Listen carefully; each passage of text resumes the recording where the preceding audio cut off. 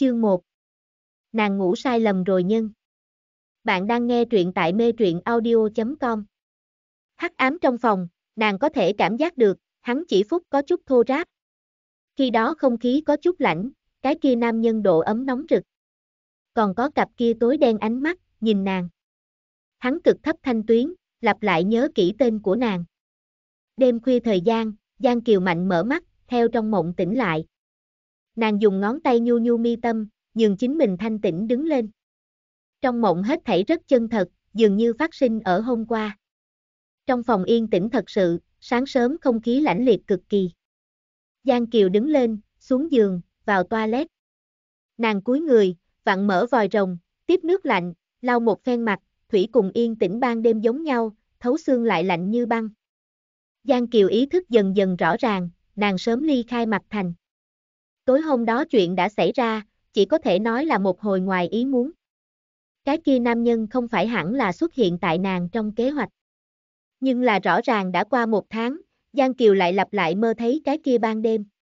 Bọn họ mười ngón tướng khấu, xúc cảm ấm áp. Nửa năm trước, Giang Kiều phát hiện chính mình mặc vào một quyển tiểu thuyết Hào Môn Ân Cừu Ký Trung.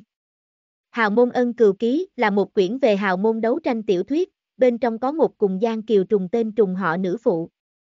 Ở trong sách, Giang Kiều là một cái diễn phân cực nhỏ phối hợp diễn. Tác giả đối cái nhân vật này họa. Nàng làm Giang gia đại tiểu thư, mỹ mạo, nuông chiều, có tiếng xấu. Nàng mẹ đẻ vẫn là một cái không muốn người biết bí mật. Trọng yếu tình tiết nhưng là có một chút, nữ phụ Giang Kiều là một cái nhân vật phản diện Bạch Nguyệt Quang. Cái kia nhân vật phản diện đối nàng mọi cách sủng ái, cuối cùng lại đem nàng tra tấn chí tử. Rất nhanh, Bạch Nguyệt Quan Giang Kiều tử vong kích phát rồi nhân vật phản diện mặt âm ám, sau đó, cái kia nhân vật phản diện triệt để hắc hóa.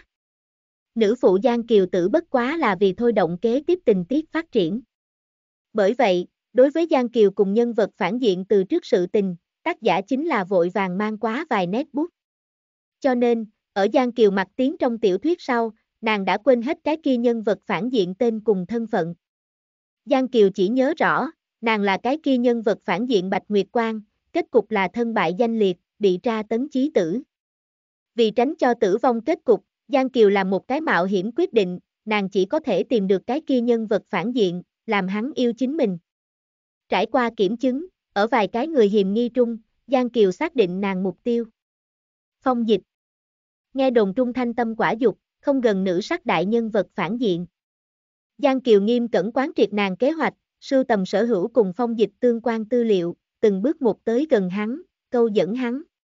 Đương nhiên, bởi vì phong dịch lãnh tình lãnh tâm tính tình, Giang Kiều thực thi kế hoạch thời điểm mất rất lớn tâm tư. Ở nỗ lực dưới, Giang Kiều chậm rãi hóa giải phong dịch lạnh như băng tâm. Giang Kiều kế hoạch chỉ kém cuối cùng một bước, nàng tin tưởng, không lâu sau, hắn sẽ động tâm. Nàng thật không ngờ là, ngoài ý muốn phát sinh. Nhớ lại ở trong mắt Giang Kiều tán đi, nàng đứng ở trong phòng, kéo ra rèm cửa sổ, thiên đã sáng. Đêm đó sự tình phát sinh sau, nàng ngoài ý muốn nhớ lại trong sách nội dung, nhưng lại phát hiện phong dịch chẳng phải muốn giết nàng nhân vật phản diện.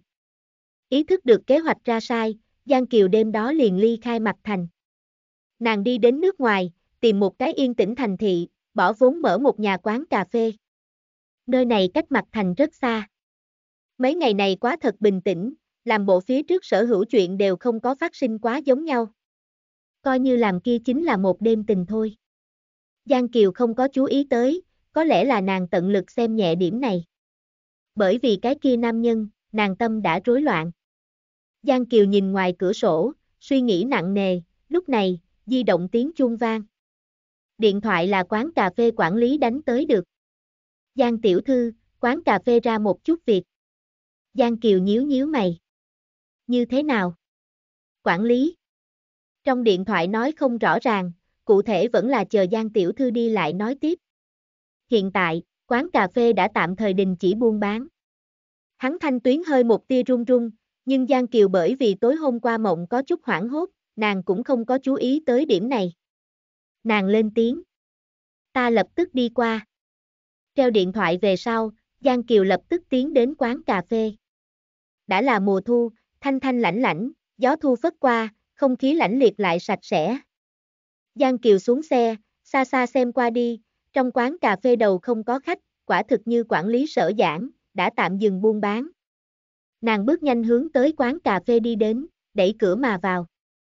Trên chỗ ngồi, quầy ba chỗ đều không có nhân, Giang Kiều nhìn quét liếc mắt một cái. Nhưng ở quán cà phê bên trong, một người nam nhân đứng ở nơi đó. Hắn mặc đơn giản lưu loát áo sơ mi, lưng thẳng tắp, trường thân nhi lập. Cái kia nam nhân bóng lưng, khí chất lạnh như băng, hơn người, nhìn qua trầm mặt cực kỳ. Giang Kiều tâm thần căng thẳng, tim đập chợt nhanh hơn. Cho nàng mà nói, hắn bóng lưng rất quen thuộc, chỉ cần liếc mắt một cái, nàng chỉ biết hắn là ai vậy. Giang Kiều nhất thời hiểu được, quán cà phê cũng không có gặp chuyện không may, mới vừa rồi kia gọi điện thoại, chính là hắn tìm một cái lấy cớ. Nàng lập tức xoay người, hướng cửa đi đến, nhưng là đã là chậm quá. Lúc này, mấy nam nhân xuất hiện tại quán cà phê cửa, ngăn cản Giang Kiều đường đi. Giang tiểu thư, Phong Tổng nói qua, ngươi không thể đi. Giang Kiều dừng cước bộ, bình tĩnh về tới trong quán cà phê. Nàng nguyên bản không nghĩ đem hắn liên lụy tiếng chuyện này trung, không nghĩ tới, phong dịch vẫn là tìm được nàng. Nhưng hiện tại cảnh tượng, lại ở Giang Kiều dự kiến bên trong. Giang Kiều ngẩng đầu, nàng tầm mắt dừng ở phong dịch trên người, lúc này, phong dịch đã xoay người, hai người ánh mắt chống lại, bốn mắt tướng tiếp. Đây là tại kia cái ban đêm sau, bọn họ lần đầu tiên gặp mặt. Phong dịch khuôn mặt lạnh lùng, hắn môi cực bạc, không thường cười, cho nên mang theo vài phần sắc bén. Hắn mặt mày thâm thúy, ánh mắt thâm mà hắt. Như Giang Kiều trong mộng đêm đó giống nhau, hắn tối đen hai tròng mắt nhìn chầm chầm nàng. Phong dịch thản nhiên quét Giang Kiều liếc mắt một cái. Nhưng tầm mắt lại dừng lại ở nàng trên người, không có rời đi. Rất nhanh, phong dịch hướng tới Giang Kiều đi tới. Một bước, hai bước, ba bước. Giữa bọn họ khoảng cách càng ngày càng ngắn, cho đến phong dịch đi đến nàng trước mặt. Giang Kiều chỉ cảm thấy tâm đầu nhất khiêu, tại đây cái xa lạ địa phương, trên người hắn quen thuộc hơi thở lại dũng đi lại. Phong dịch lãnh đạm thanh âm vang lên, niệm tên của nàng. Giang Kiều. Một tháng không thấy, là hẳn là hảo hảo tâm sự. Giang Kiều. Tán gẫu cái gì? Phong dịch cuối người đến, hắn hơi thở vũ phát gần. Trong trí nhớ cảm giác một chút vây quanh trụ nàng, cái loại này quen thuộc, nóng rực hô hấp. Hắn thanh tuyến trầm thấp, lại ẩn ẩn mang theo vài phần hàng ý. Rất nhiều. Tỷ như tối hôm đó sự tình. Yên tĩnh ánh mặt trời theo ngoài cửa sổ rơi xuống tiến vào, phong dịch cùng Giang Kiều đối diện. Bên ngoài là đẹp trời mùa thu, nhưng cảm giác áp bách lại bao phủ nơi này. Giữa bọn họ chuyện xưa, còn phải theo nửa năm trước nói lên. Bạn thích bộ truyện này? Yêu cầu làm truyện và ủng hộ ở mô tả video. Chương 2 Hắn cười, tùy ý lại phô trương. Bạn đang nghe truyện tại mê truyện audio.com. Đang lúc hoàng hôn, mặt thành lại phiêu khởi tuyết. Đêm qua đã hạ quá cả đêm tuyết, năm nay đại tuyết tới vừa vội lại mau, không biết khi nào mới có thể ngừng. Tòa thành thị này đã bị một tầng thật dày tuyết động sở bao trùm. Tại như vậy trong hàng đông, mọi người nghị luận lại vô cùng náo nhiệt, không có đình chỉ. Hôm nay là một người sinh nhật, đồng thời cũng là nàng hôn lễ. Giang gia đại tiểu thư. Giang Kiều. Nàng mẹ đẻ thành mê, tuy là Giang gia đại tiểu thư, cũng không chịu coi trọng. Nàng mạo mỹ chí cực, lại uổng công một bộ túi da, nuông chiều tùy hứng. Giang Kiều thanh danh không xuôi tai, Giang gia cũng sẽ không đi quản này nữ nhi. Nhưng sở hữu sự tình đều ở một người nam nhân xuất hiện khi cải biến. Người kia, cũng chính là nàng hiện tại vị hôn phu. Tục truyền, Giang Kiều vị hôn phu đối nàng nhất kiến chung tình. Hắn xuất thân danh môn, anh Tuấn nhiều kim. Quan trọng nhất một điểm là hắn cực kỳ chuyên tình. Giang Kiều nuông chiều, hắn nhậm chức nàng nuông chiều. Giang Kiều tùy hứng, hắn liền từ nàng tính tình. Mà Giang Kiều vị hôn phu lại cố tình pha cụ bối cảnh. Từ Giang Kiều đến hôn sau, Giang gia thái độ đối với nàng nhất sửa từ trước. Bọn họ hai người thuận lý thành chương bộ vào hôn nhân. Hắn đem hôn lễ đính ở tại Giang Kiều sinh nhật, cũng là bọn hắn sơ ngộ ngày nào đó. Này ban đêm, đại tuyết bay tán loạn, rét lạnh cực kỳ. Nhưng này nam nhân cấp Giang Kiều hôn lễ, nói vậy nhất định long trọng lại phô trương. Khoảng cách hôn lễ bắt đầu không đến một giờ. Bóng đêm dần dần thâm, đại tuyết tiếp tục lạc. Lạnh thấu xương hàng phong, bốn phía phi tuyết, trên đỉnh đầu phương màn đêm trung, dắt ẩn ẩn lãnh nguyệt. Bên ngoài trên tuyết, có một nữ tử ngã xuống nơi đó. Nàng mặc quần áo áo cưới, nằm ở trắng như tuyết tuyết trắng trung.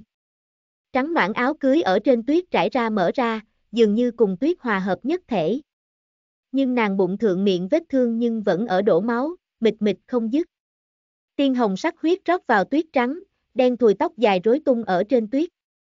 Đại tuyết dừng ở nàng trắng nõn sạch sẽ trên mặt. Ô đỏ lên môi, mặt mày xinh đẹp, trang mặt tinh xảo lại đẹp mắt. Mặc áo cưới ngã vào trên tuyết người kia, đúng là Giang Kiều. Ai đều sẽ không nghĩ đến, hôn lễ đêm trước, tân nương kề cận tử vong. Mà sát nàng nhân, cũng là nghe đồn trung đối nàng tất cả sủng ái vị hôn phu.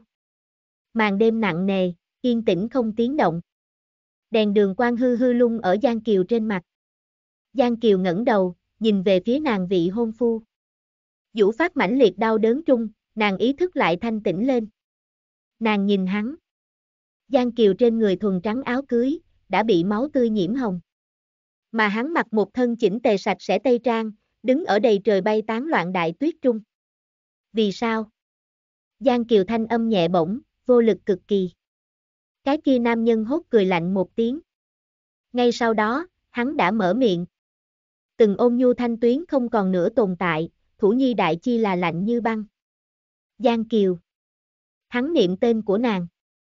Không có dĩ vãng ngụy trang ôm nhu, ngược lại là thiết phu tận xương hận ý. Giang Kiều tâm rung lên, nàng chỉ cảm thấy trước mắt này nam nhân đáng sợ thật sự. Nàng tự hồ chưa bao giờ chân chính thấy rõ quá hắn. Ngươi hẳn là may mắn, ngươi sống đến hiện tại. Đáy mắt hắn lạnh lùng vạn phần, ngữ khí như là tan băng tuyết.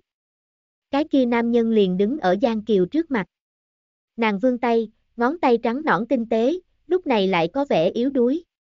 Giang Kiều ý đồ bắt lấy hắn góc áo, lại rơi vào khoảng không.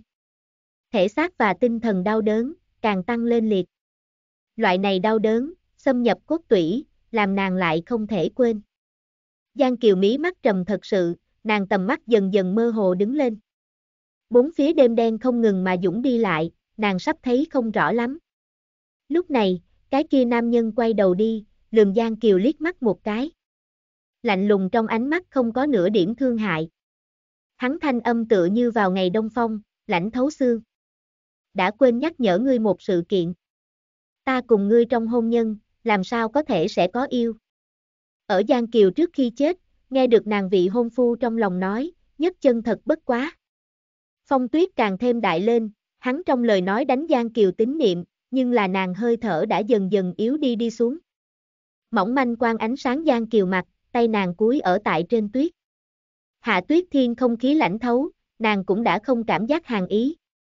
Cái kia nam nhân khuôn mặt ẩn trong bóng đêm, hắn thần sắc, xem chẳng phân biệt được minh. Hắn xoay người rời đi, không có bố thí cho nàng một ánh mắt. Lạnh như băng trong đêm tối, chỉ còn lại có lã tả đại tuyết. Cùng đổ trong vũng máu tân nương. Giang Kiều Mạnh mở mắt, ý nghĩ hôn trầm. Trước mắt nàng tối đen một mảnh, thấy không rõ chung quanh sự vật. Giang Kiều nhớ lại mới vừa rồi cảnh tượng, nàng biết, nàng làm một cái mộng. Hôn lễ đêm trước giết người án, trắng noãn tuyết cùng đỏ tươi huyết, nhưng lại có vẻ như vậy chân thật.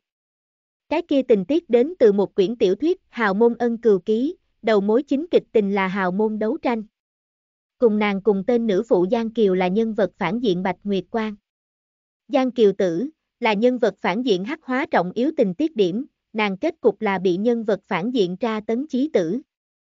Giang Kiều không lại suy nghĩ kia bản tiểu thuyết, nàng trong bóng đêm sờ soạn, tìm kiếm công tắc đèn. Nàng cảm thấy kỳ quái, chốt mở khi nào thì thay đổi vị trí. Lúc này, đỉnh đầu đang chợt sáng lên, ánh sáng ánh sáng toàn bộ phòng. Giang Kiều ngẩn ra, nàng nhìn quét một vòng, lại phát hiện này chẳng phải nàng phòng. Trên bàn bày biện một quyển hộ chiếu cùng một trương vé máy bay. Di động màn hình sáng, Giang Kiều liếc đi, phát hiện đó là một cái bị vong lục nhắc nhở. Ngày mai là về nước ngày. Giang Kiều đi đến trước gương, thấy được một trương cùng chính mình giống nhau như đúc mặt. Giống nhau tên, giống nhau tướng mạo. Nhưng là nàng rõ ràng thật sự, người này là trong sách bị nhân vật phản diện tra tấn chí tử Giang Kiều. Nếu nàng không có nhớ lầm, ở nữ phụ Giang Kiều về nước sau, sẽ gặp được cái kia nhân vật phản diện vị hôn phu. Dựa theo trong sách kịch tình phát triển, nàng tử vong thời gian đúng là một năm sau. Giang Kiều xem gương, trong đầu lại trống rỗng. Vô luận nàng thế nào nhớ lại, cũng nghĩ không ra nhân vật phản diện vị hôn phu tên. Cái kia sẽ ở một năm sau giết nàng nhân là ai? Giang Kiều dùng nước lạnh rửa mặt sạch, nhưng chính mình thanh tĩnh đứng lên. Xem ra, nàng hiện tại đệ một mục tiêu là muốn tìm được cái kia nhân vật phản diện vị hôn phu. Kế tiếp kế hoạch, chỉ có thể chờ về nước sau lại định. Giang Kiều đi ra toilet. Bên ngoài phòng không trống rỗng, yên tĩnh cực kỳ. Nàng cầm lấy điều khiển từ xa, mở ra tivi, ý đồ nhường thanh âm tràn ngập phòng này. Trên tivi đang ở truyền phát một cái tin tức. Giang Kiều thản nhiên lườm liếc mắt một cái, dừng cước bộ. Phong thị tập đoàn tốt đẹp quốc mổ xí nghiệp trao đổi thập phần thuận lợi. Song phương đã ký kết hợp đồng, tân một vòng hợp tác sắp mở ra. Giang Kiều tầm mắt ở trên màn hình TV lưu lại vài giây, nàng thấy được một cái quen thuộc tên. Phong dịch. Nàng nhớ được tên này. Ở Hào Môn Ân Cừu Ký Trung, phong dịch là số lượng không nhiều lắm nhân vật phản diện chi nhất. Càng chính xác ra, phong dịch là trong sách cực kỳ trọng yếu một cái nhân vật phản diện. Mà về hắn người này, có một cái thập phần mấu chốt manh mối. Ở thương giới, phong dịch lấy tàn nhẫn thủ đoạn xưng. Phong dịch bá phụ cùng đường huynh ở nước ngoài du lịch khi ra tai nạn xe cộ. Ngay sau đó, phụ thân của phong dịch lại phát sinh ngoài ý muốn. Việc này đều phát sinh ở nữ phụ Giang Kiều tử vong sau, thời gian hẳn là vài năm sau. Bởi vì phụ thân tử vong, phong thị tập đoàn người thừa kế, chỉ còn lại có phong dịch một người. Mà lớn nhất người hiềm nghi cũng chỉ có hắn. Pháp viện đối phong dịch triển khai điều tra, nhưng là tìm không thấy gì chứng cớ cùng manh mối. Phong dịch bị vô tội phóng thích, đều hỗn loạn nghe đồn không có ngừng lại. Giang Kiều ngồi ở chỗ kia, tiếp tục xem tivi hình ảnh. Giờ phút này, trên màn hình trùng hợp xuất hiện phong dịch mặt. Hắn tựa như trong sách miêu tả như vậy, khuôn mặt lạnh lùng, đường cong sắc bén, ngũ quan mặc dù sinh vô cùng tốt, nhưng vẻ mặt lại đạm mạc đến cực điểm. Lúc này, Giang Kiều trong đầu mạnh tránh qua một cái cảnh tượng. Ở thẩm phán tuyên cáo vô tội về sau, phong dịch ly khai pháp viện. Pháp viện cửa đã bị phóng viên truyền thông nhóm vây quanh. Bởi vì án kiện này, phong thị tập đoàn cổ phiếu đại ngã. Ngoại giới có chứa nhiều gây bất lợi cho ngươi đồn đãi, ngươi là nghĩ như thế nào? Phong dịch tính tình lạnh như băng, không thường cười. Hắn mặt không biểu cảm, tựa như thường ngày. Phụ thân ngươi tử cùng ngươi đến cùng có không có quan hệ. Nghe đến đó, phong dịch gợi lên khóe môi. Ở phóng viên hỏi phong dịch hay không giết hắn thân sinh phụ thân thời điểm, hắn lại nở nụ cười. Phong dịch tiếp tục trầm mặt, hết thảy trầm mặt đều như là không tiếng động cam chịu việc này. Này án không hề chứng cớ, hắn thoát đi pháp luật chế tài. Nhưng mà trong lòng hắn tự hồ đã không có đạo đức điểm mấu chốt. Phong dịch cười cực thiển, lại lạnh lùng cực kỳ. Tùy ý lại phô trương. Sáp nhập phiếu tên sách tác giả có chuyện muốn nói. Nam chủ giết cha có ẩn tình, bài này là thoải mái hướng sủng văn. Tiền hai chương làm sửa chữa, lão độc giả có thể một lần nữa xem, chương một nam chủ xuất hiện. Ngày mai hội đổi mới hai chương. Bạn thích bộ truyện này? Yêu cầu làm truyện và ủng hộ ở mô tả video. Chương 3 Nàng đảo qua hắn môi, quả thực sinh cực bạc. Bạn đang nghe truyện tại mê truyện audio.com. Giang Kiều nhớ lại này đoạn nhớ lại, lạc hào môn ân cừu ký trung đối phong dịch miêu tả. Nàng tầm mắt dần dần thanh minh, đem lực chú ý đặt ở trước mặt. Tối đen trong phòng, TV vẫn cứ lượng, tiếp tục truyền phát về cái kia phong thị tập đoàn tin tức. Giang Kiều vọng xem TV thượng hình ảnh, ánh mắt một lát không rời, có một cái ý niệm trong đầu ở trong đầu dần dần rõ ràng. Phong dịch người này, sẽ bị nàng liệt vào nhân vật phản diện vị hôn phu người hiềm nghi chi nhất. Đã ở nguyên trong sách, Giang Kiều sẽ bị nhân vật phản diện tra tấn chí tử, như vậy, nàng liền nhất định phải tìm được người kia. Giang Kiều ấn rớt TV, thanh âm sau khi biến mất, trong phòng lại lần nữa khôi phục một mảnh yên tĩnh. Giang Kiều cầm lấy di động, nàng bắt đầu cẩn thận tìm kiếm một ít dấu vết để lại. Về cái kia tên là phong dịch nam nhân. Trước mắt mới thôi, công chúng sở hiểu biết tình huống không nhiều lắm, chỉ có phong dịch mẹ đẻ sớm thệ, ở nước ngoài lớn lên, sau khi thành niên về nước. Nhưng là trừ lần đó ra. Hắn trưởng thành quá trình thành mê, cảm tình trải qua thành mê. Vô luận phóng viên cùng truyền thông thế nào đào móc, đều tra không đến gì tin tức. Không biết sao, phong dịch quá khứ giống là bị người tận lực đè lại, bất lưu một tia dấu vết. Mặc dù là trên mạng về phong dịch tư liệu, cũng chỉ có ít ỏi vài nét bút trên chuyện buôn bán thành tựu. Mà việc này, đều ở chứng minh một điểm. Nếu là Giang Kiều muốn chân chính hiểu biết phong dịch người này, tự hồ chỉ có thể dựa vào chính mình đi thăm dò. Lưu cho Giang Kiều thời gian không nhiều lắm, nàng cần phải xác nhận nhân vật phản diện thân phận. Giang Kiều nhưng là có một ưu thế, nàng xem qua kia bản tiểu thuyết, hiểu được phong dịch một ít thói quen. Về nước sau, nàng có thể tìm được biện pháp, nhận thức hắn. Ánh mắt lưu lại ở phong dịch tư liệu thượng, trong đầu hiện lên mặt hắn. Phong dịch môi cực bạc, tính tình lạnh như băng, không tốt tới gần. Giang Kiều bỗng nhiên gợi lên khóe môi, tươi cười thản nhiên. Giang Kiều thu hồi điện thoại di động, mỏi mệt phù thượng trong lòng, nàng nằm ở trên giường. Có lẽ là chung quanh hoàn cảnh quá mức xa lạ, Giang Kiều lăn qua lộn lại, nhưng vẫn đang nằm mơ. Đại khái bởi vì suy nghĩ nặng nề, Giang Kiều mộng đều cùng phong dịch có liên quan. Trong mộng là kia trương lạnh lùng khuôn mặt. Phong dịch đôi mắt tối đen, thâm thúy, như là có thể thấy nàng đáy lòng bí mật. Hừng đông về sau, Giang Kiều mở mắt. Nàng mang theo rương hành lý, ngăn cản nhất xe taxi, đi sân bay. Trải qua một buổi tối, Giang Kiều đã làm tốt lắm tâm lý kiến thiết. Nàng tiếp nhận rồi mặc thư chuyện thực, từ đây sau, nàng phải làm chỉ có một việc. Tìm được cái kia nhân vật phản diện, cũng làm hắn yêu chính mình. Giang Kiều độc tự một người ngồi ở hậu cơ thất, trong tay cầm hộ chiếu, nàng tầm mắt đảo qua hộ chiếu thượng tên cùng ảnh chụp. Hiện tại, thân phận của nàng đã cải biến, Giang thị tập đoàn đại tiểu thư Giang Kiều. Trừ bỏ tiếp cận phong dịch bên ngoài, Giang Kiều còn phải nhớ kỹ một điểm, nàng không thể quên điệu hiện tại thân phận. Đăng ký sau, Giang Kiều ngồi ở máy bay trên ghế ngồi, đội chụp mắt. Máy bay bên ngoài biển mây quay cuồng, ánh mặt trời bình tĩnh lại an bình. Vượt qua này đoạn dài dòng lữ trình, Giang Kiều sẽ đến Mặt Thành. Giang Kiều đến Mặt Thành, dựa theo nguyên chủ trí nhớ, nàng trở về một chỗ cao cấp nhà trọ. Giang Kiều sớm đã chuyển cách Giang gia, độc tự bên ngoài ở lại. Nàng không có cấp Giang gia gọi điện thoại. Nguyên chủ cùng Giang gia quan hệ cũng không tốt. Dựa theo nguyên chủ tính tình, tuyệt đối sẽ không chủ động liên hệ Giang gia nhân. Bởi vậy, ở tiếp xúc Giang gia cùng tìm kiếm nhân vật phản diện trong lúc đó, Giang Kiều lựa chọn thập phần rõ ràng, tự nhiên là người sau. Nếu Giang Kiều muốn xác nhận phong dịch có phải là cái kia nhân vật phản diện, cần phải theo kế hoạch bước đầu tiên bắt đầu. Nàng ý tưởng là, chế tạo một cái hoàng mỹ sơ ngộ. Chạng vạn thời gian, ánh sáng hôn ám, trong nhà trọ không có bật đèn. Cửa phòng tắm hờ khép, bên trong lộ ra quan đến. Giang Kiều vừa tắm rửa xong, tùy ý dùng khăn tắm bao lấy thân thể. Khăn tắm kham kham che khuất thân thể của nàng, phía dưới cặp kia chân thon dài cân xứng, bạch thông thấu. Nàng không chút để ý rác khởi tóc dài. Giang Kiều theo trong phòng tắm đi ra. Bên ngoài phòng không trống rỗng. Mỏng manh quang theo phía bên ngoài cửa sổ thấu tiến vào, buộc vòng quanh nàng dạo tốt thân hình.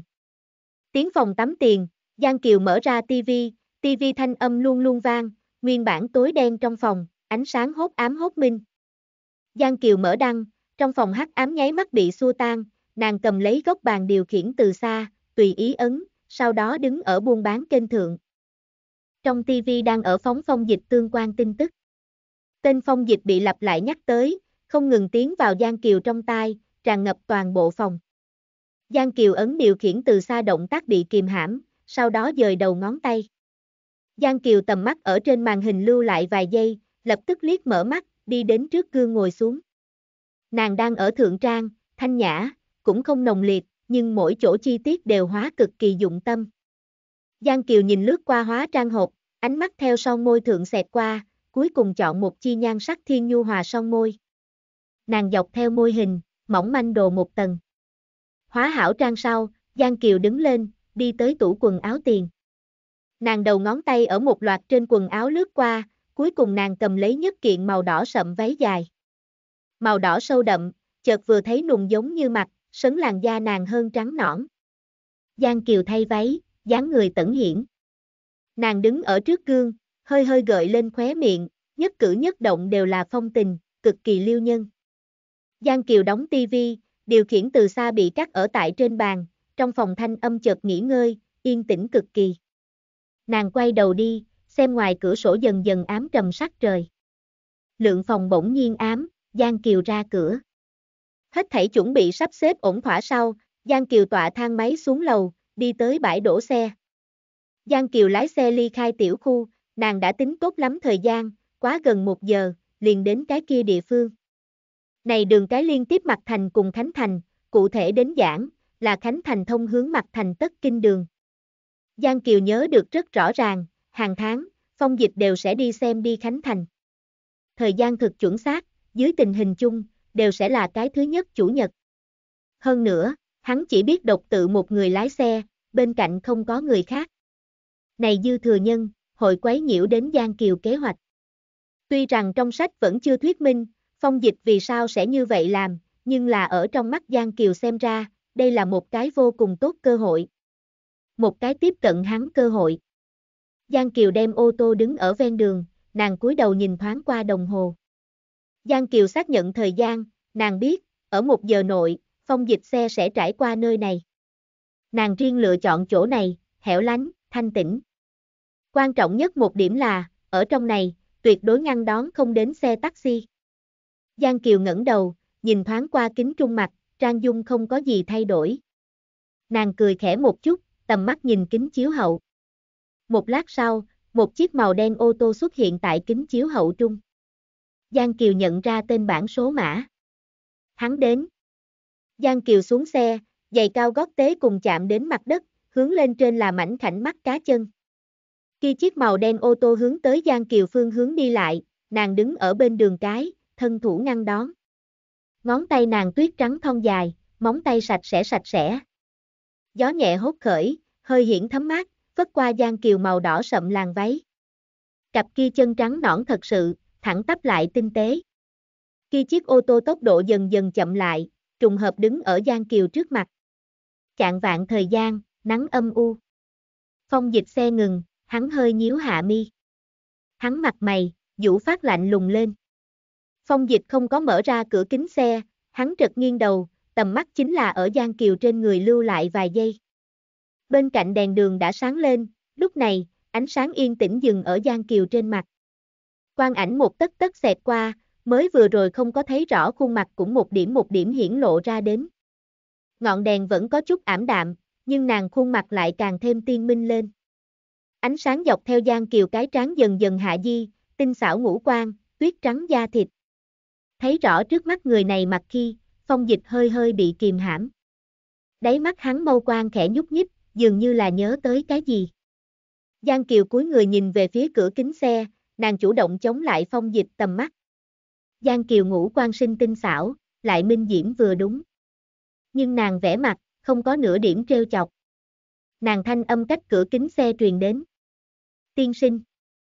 Giang Kiều đứng ở nơi đó, khoảng cách không xa không gần. Cửa kính xe đi xuống, lộ ra một đạo không lớn khe hở. Giang Kiều thanh âm càng rõ ràng, ở làm sạch gió đêm trung, thanh thanh lãnh lãnh.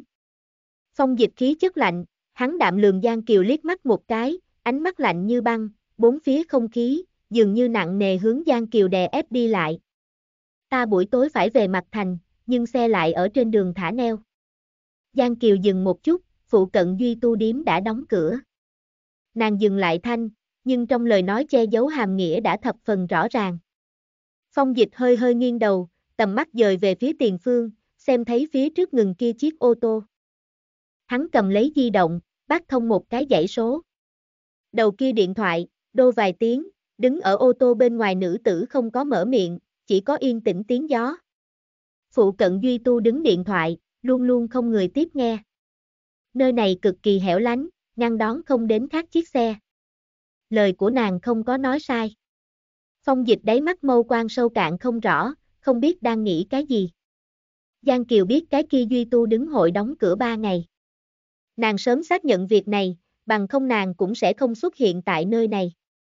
Lúc này, phong dịch buông xuống di động, thản nhiên nhìn lướt qua mặt nàng. Giang Kiều vẽ mặt cực đạm, khí chất thanh lãnh thật sự. Phong dịch con ngươi tối đen, giống như hồ sâu bình thường, dường như có thể liếc mắt một cái nhìn đến đáy lòng nàng. Nhưng phong dịch vẫn là mở miệng, đã mở miệng, cùng nàng nói câu nói đầu tiên. Lên xe. Giang Kiều dắt khóe môi, nàng tầm mắt nhìn như lơ đãng xẹt qua phong dịch ngũ quan. Hắn hàm dưới sắc bén, khóe miệng mân thành thẳng tắp. Nàng rất nhanh sẽ thu hồi tầm mắt, trong lòng nghĩ, bờ môi của hắn, quả thực sinh cực bạc. Sáp nhập phiếu tên sách tác giả có chuyện muốn nói. Nam chủ nhường nữ chủ lên xe nguyên nhân, về sau hội giải thích. Này thiên văn độ dài không lâu, cho nên gọn gàng dứt khoát bắt đầu liêu. Bạn thích bộ truyện này? Yêu cầu làm truyện và ủng hộ ở mô tả video. Chương 4 Ở ta trên xe Bạn đang nghe truyện tại mê truyện audio.com Giang Kiều thẳng đứng dậy đến, theo nàng động tác, trên người cái kia màu đỏ sậm váy dài, đã ở hơi hơi địa chấn. Nàng không có đi đi chỗ kế bên tay lái, ngược lại là mở mặt sau môn. Giang Kiều không mở miệng, thẳng đến nàng ngồi vào sau xe tòa, tài nói câu. Cảm ơn. Giang Kiều thanh âm lọc vào trong xe, trùng hợp có thể bị phong dịch nghe được minh bạch. Nàng kia nói thanh tuyến, theo hắn bên tai phất qua đi, như là ngoài cửa sổ sạch sẽ gió đêm. Giang Kiều ngước mắt, liếc hướng trung ương kính chiếu hậu, theo nơi đó có thể nhìn đến phong dịch mặt. Hắn mặt không biểu cảm, như trong sách lời nói, thanh tâm quả dục, rất khó tiếp cận. Giang Kiều tầm mắt dừng vài giây, nhưng phong dịch luôn luôn không có xem nàng, hắn rất nhanh liền phát động ô tô. Hẻo lánh thanh tịnh đêm, tại đây điều tiên có người trải qua trên đường, một chiếc màu đen ô tô, chạy vào trong đêm tối. Tối rồi, màn đêm đã trầm xuống dưới, bên ngoài thanh lãnh ánh trăng lọt vào đến. Phong dịch sẽ không chủ động mở miệng, cho nên, Giang Kiều cũng là. Dọc theo đường đi, ô tô bằng phẳng đi phía trước mở ra, không người ra tiếng, nơi này chỉ có trầm mặc. Trong xe không khí có chút đè nén. Hai cái người xa lạ trong lúc đó, tuyệt đối không thể có bao nhiêu dư trong lời nói. Điểm này, Giang Kiều trong lòng biết rõ ràng. Nàng trong kế hoạch, không thể có sai lậu. Trọng yếu nhất là, nàng trầm mặc có thể hóa giải phong dịch lòng nghi ngờ. Nhưng là, nàng đã thành công bán ra bước đầu tiên, sẽ không có thể buông tha cho cơ hội này. Giữa bọn họ phải thành lập khởi một ít liên hệ. Chẳng sợ này liên hệ, vô cùng đơn giản. Mắt thấy ô tô cũng sắp muốn tới mặt thành, mặc dù là ban đêm, tòa thành thị này như trước tiếng động lớn rầm rỉ. Tại hạ xa tiền, Giang Kiều cầm lấy di động, nhưng vẫn chưa bác gọi điện thoại. Ta còn tại trên đường, rất nhanh liền đến mặt thành. Giang Kiều thanh âm vang lên, nhất thời cắt qua yên tĩnh. Nàng thản nhiên ừ một tiếng.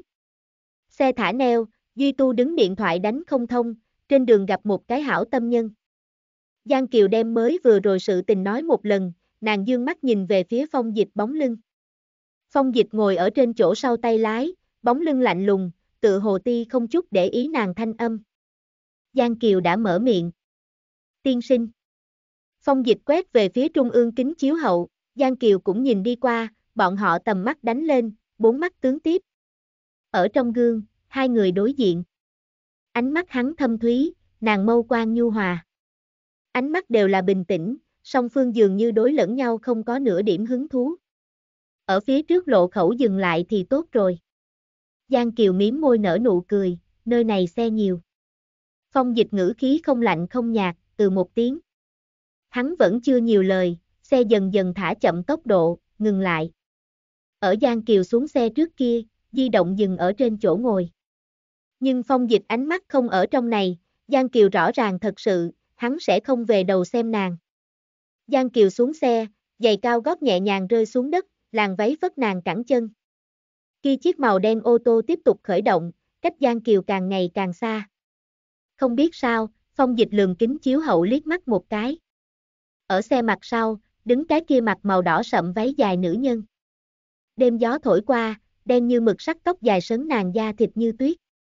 Nàng đứng ở trong đêm tối, màn đêm tiệm trầm, này thành thị bắt đầu trở nên náo nhiệt. Phong dịch nhìn lướt qua, rất nhanh thu hồi tầm mắt. Bóng đêm vũ phát thâm, phong mang theo vài tia khô nóng, không khí tựa hồ tràn ngập mỏng manh sương mù. Phong dịch xe đi phía trước khai đi, cuối cùng dừng lại. Phong dịch mở cửa xe, chuẩn bị xuống xe, Hắn trật nghiêng đầu, tầm mắt đặt ở xe trên ghế sau. Mới vừa rồi cái kia nữ nhân đã rời đi, chỗ ngồi trống rỗng, dường như không người đã tới. Nhưng này nhân di động lại lạc ở tại trên xe. Phong dịch mâu sắc ám trầm, nhìn qua không có độ ấm, hắn chỉ đem tầm mắt ở trên di động ngừng một giây, liền lập tức thu hồi. Trong xe đăng ám, phong dịch mở cửa xe, xuống xe. Cửa xe khép lại, phong dịch cất bước rời đi, không có lại quay đầu. Phong dịch đi ra bãi đổ xe, nhưng không quá nhiều lâu, hắn đi mà quay lại. Hắn thần sắc tựa như thường ngày nhạt nhẽo, mày lại ẩn ẩn nhăn lại. Hắn một lần nữa trở lại bên xe, kéo mở cửa xe. Ngọn đèn cùng bóng ma trùng trùng vén, lạc sau lưng phong dịch, ánh mắt của hắn lại đặt ở sau xe tòa di động mặt trên. Di động yên tĩnh nằm ở nơi đó, màn hình ám, chung quanh một mảnh yên tĩnh. Phong dịch hơi hơi cúi người, đưa điện thoại di động từ trên ghế sau cầm lấy, thon dài ngón tay nắm chặt điện thoại di động. Lập tức, phong dịch ly khai bãi đổ xe. Tứ phương màn đêm chậm rãi hạ xuống, đỉnh đầu là tịch liêu tinh quang. Một đường đi tới, chung quanh đều chìm vào yên tĩnh trong bóng đêm. Giang Kiều đi vào cao lầu, vào thang máy, đè nữ. Cửa thang máy phút chốc khép lại, chậm rãi bay lên. Thời gian lặng yên trôi qua, Giang Kiều lườm liếc mắt một cái, thang máy tầng lầu chữ số ở không ngừng biến hóa. Nàng rất nhanh sẽ thu hồi tầm mắt. Đinh, một tiếng, cửa thang máy mở. Giang Kiều chậm rãi đi ra. Giày cao gót đạp trên mặt đất, dừng ở yên tĩnh trong hành lang, tiếng vang rất nhỏ. Đi tới cửa, Giang Kiều cúi đầu nhìn đi qua, nâng lên thủ đưa vào mật mã, cửa mở. Phòng trong ánh sáng ảm đạm, Giang Kiều mở đăng, nhu hòa ánh sáng trút xuống xuống, chiếu sáng mặt đất. Hắc ám tán đi, Giang Kiều khuôn mặt chiếu vào ánh sáng bên trong. Nàng đơn giản tắm rửa một phen, phao nhất tách cà phê, cắt ở tại trên bàn. Cà phê nóng bỏng, bạch khí bay lên, cấp này lãnh lạnh tanh ban đêm, thêm vài phần nhiệt khí. Lúc này, màu đen điện thoại phút chốc vang, thanh âm dừng ở yên tĩnh phòng, chói tai cực kỳ. Giang Kiều lườm liếc mắt một cái, tiếp lên điện thoại. Nàng đem điện thoại đặt ở bên tai, ngưng thần nghe. Trong điện thoại vang lên một nữ nhân thanh âm. Giang Kiều, là ta. Giang Kiều mâu sắc lạnh lùng, này điện thoại là nàng kế mẫu trác mạng nhân đánh tới được. Giang Kiều mẹ đẻ, cũng chính là Giang Phụ Nguyên Phối, nhiều năm trước liền ly khai Giang gia. Ly hôn sau, không có người biết nàng đi nơi nào. Đối nữ phụ Giang Kiều mà nói, nàng mẹ đẻ chỉ có một tên, Việt, không người nào biết. Giang Kiều không lạnh không nhạt từ một tiếng, nàng nghiêng đầu nhìn về phía ngoài cửa sổ, tầm mắt thản nhiên. Ngoài cửa sổ là tối đen đêm, lạnh lẽo lại lãnh liệt. Trác mạng nhân. Ta cho ngươi đánh quá vài cái điện thoại, ngươi thế nào không tiếp? Thanh âm có chút sốt ruột, làm như thực lo lắng Giang Kiều. Giang Kiều thân mình sau này nghiêng, lưng chạm được lưng ghế dựa, nhàn nhàn dựa vào ở nơi đó, thần thái lười nhác. Di động đã đánh mất. Trác mạng nhân dừng vài giây. Ngươi vừa về nước, có thể thích ứng nơi này cuộc sống sao? Giang Kiều A một tiếng. Còn đi. Trác mạng nhân ngữ khí mang theo an ủi. Trên mạng lời đồn đãi, ngươi không cần để ở trong lòng. Nghe đi lên đổ là thật tâm vì Giang Kiều suy nghĩ. Giang Kiều khóe miệng hiện lên một tia châm chọc chi ý ở trong sách, nữ phụ Giang Kiều có tiếng xấu, hình tượng cực kém. Nữ phụ Giang Kiều mẹ đẻ thành mê, Trác mạng nhân gã tiến vào sau, Giang Kiều là từ nàng nuôi nấng lớn lên. Trác mạng nhân mặt ngoài đãi Giang Kiều vô cùng tốt, kỳ thật giấu giếm tâm tư, nàng tận lực đem Giang Kiều dưỡng thành nuông chiều bốc đồng tính cách. Ngoại giới đều xưng Giang gia đại tiểu thư vì bao cỏ mỹ nhân. Giang Kiều cười lạnh một tiếng, không nói gì. Trác mạng nhân. Ta cùng ngươi ba cho ngươi an bày một phần công tác. Chúng ta chuẩn bị cho ngươi đi an chu ảnh thị thành làm sản xuất nhân. Trác mạng nhân biết Giang Kiều tính tình, nàng thập phần xúc động, mới vào kịch tổ, chắc chắn cùng người khởi xung đột, đến lúc đó Giang Kiều thanh danh sẽ càng kém. Giang Kiều thủ đặt ở bàn phím thượng, đánh chuột, tầm mắt dừng ở trên máy tính.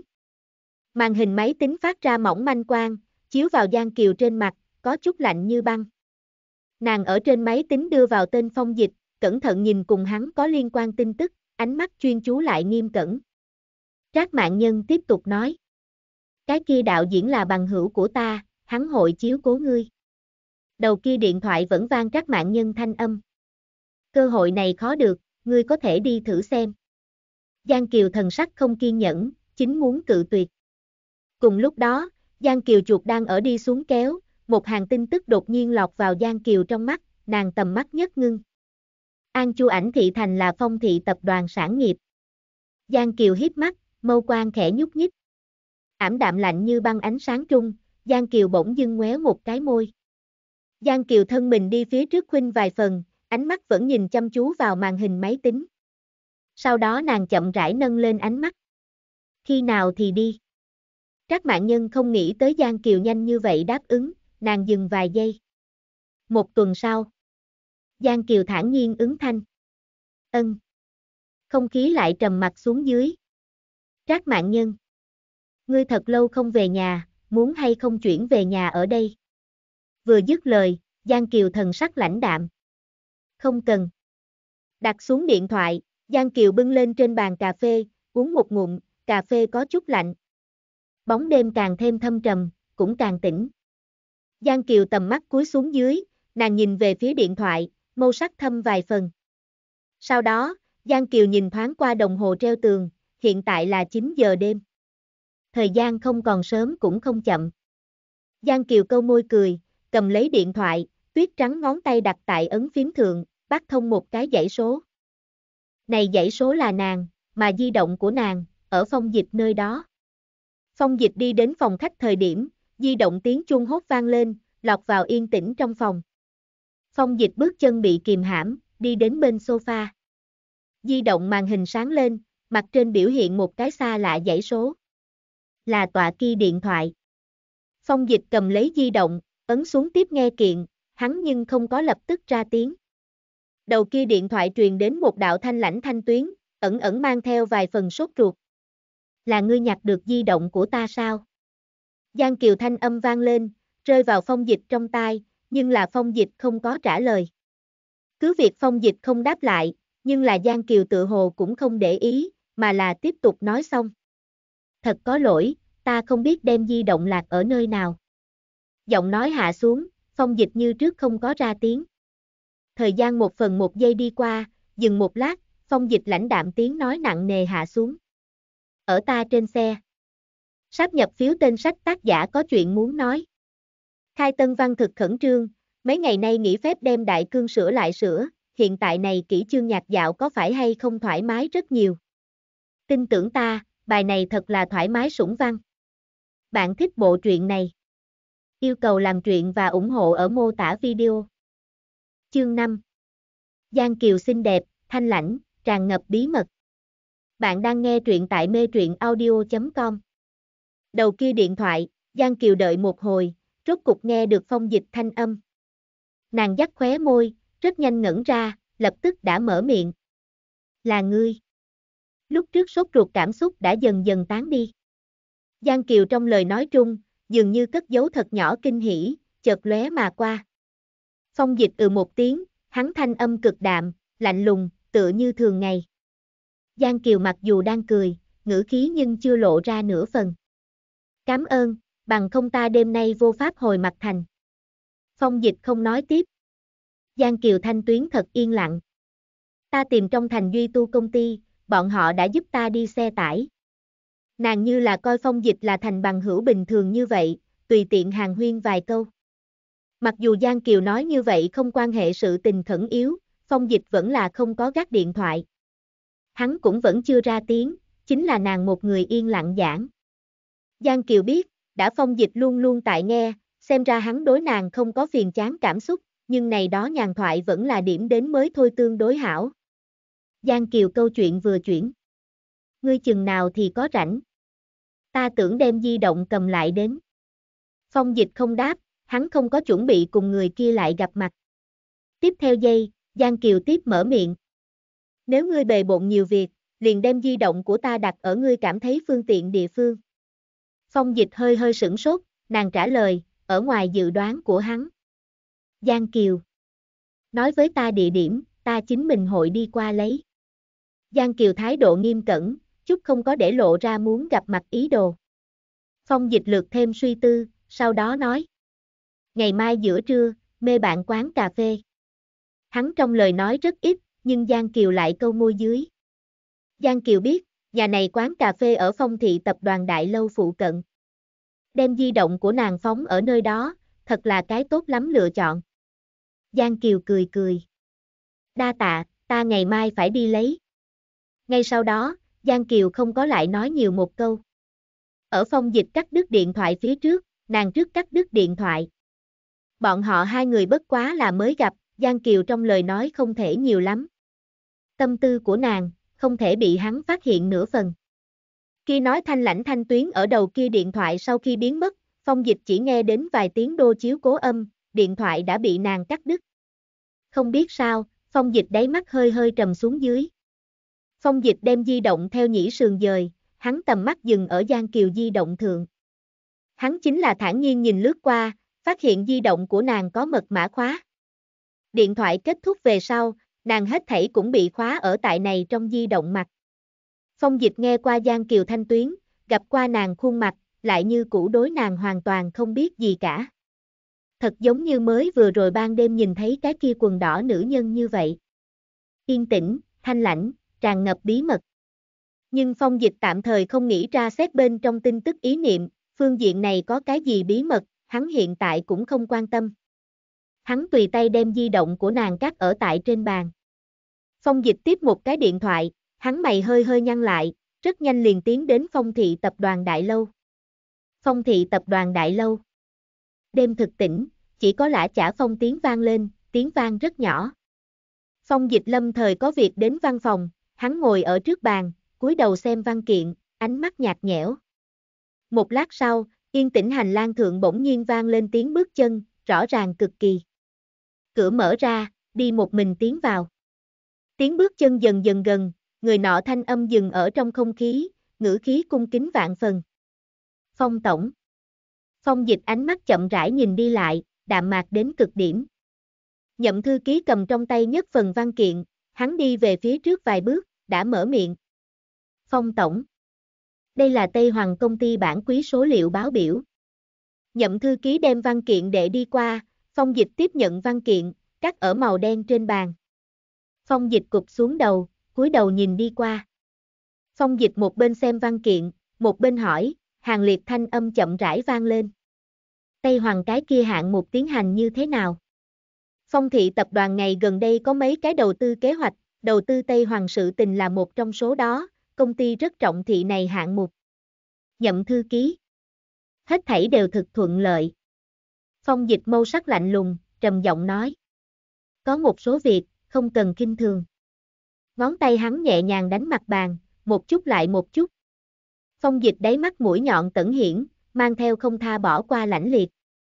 Nhậm thư ký cúi đầu, trong lòng bỗng dưng căng thẳng. Phong dịch ánh mắt chậm rãi xẹt qua nhậm thư ký. Ta không hy vọng xuất hiện cái gì bại lộ. Nhậm thư ký liễm hạ thần sắc.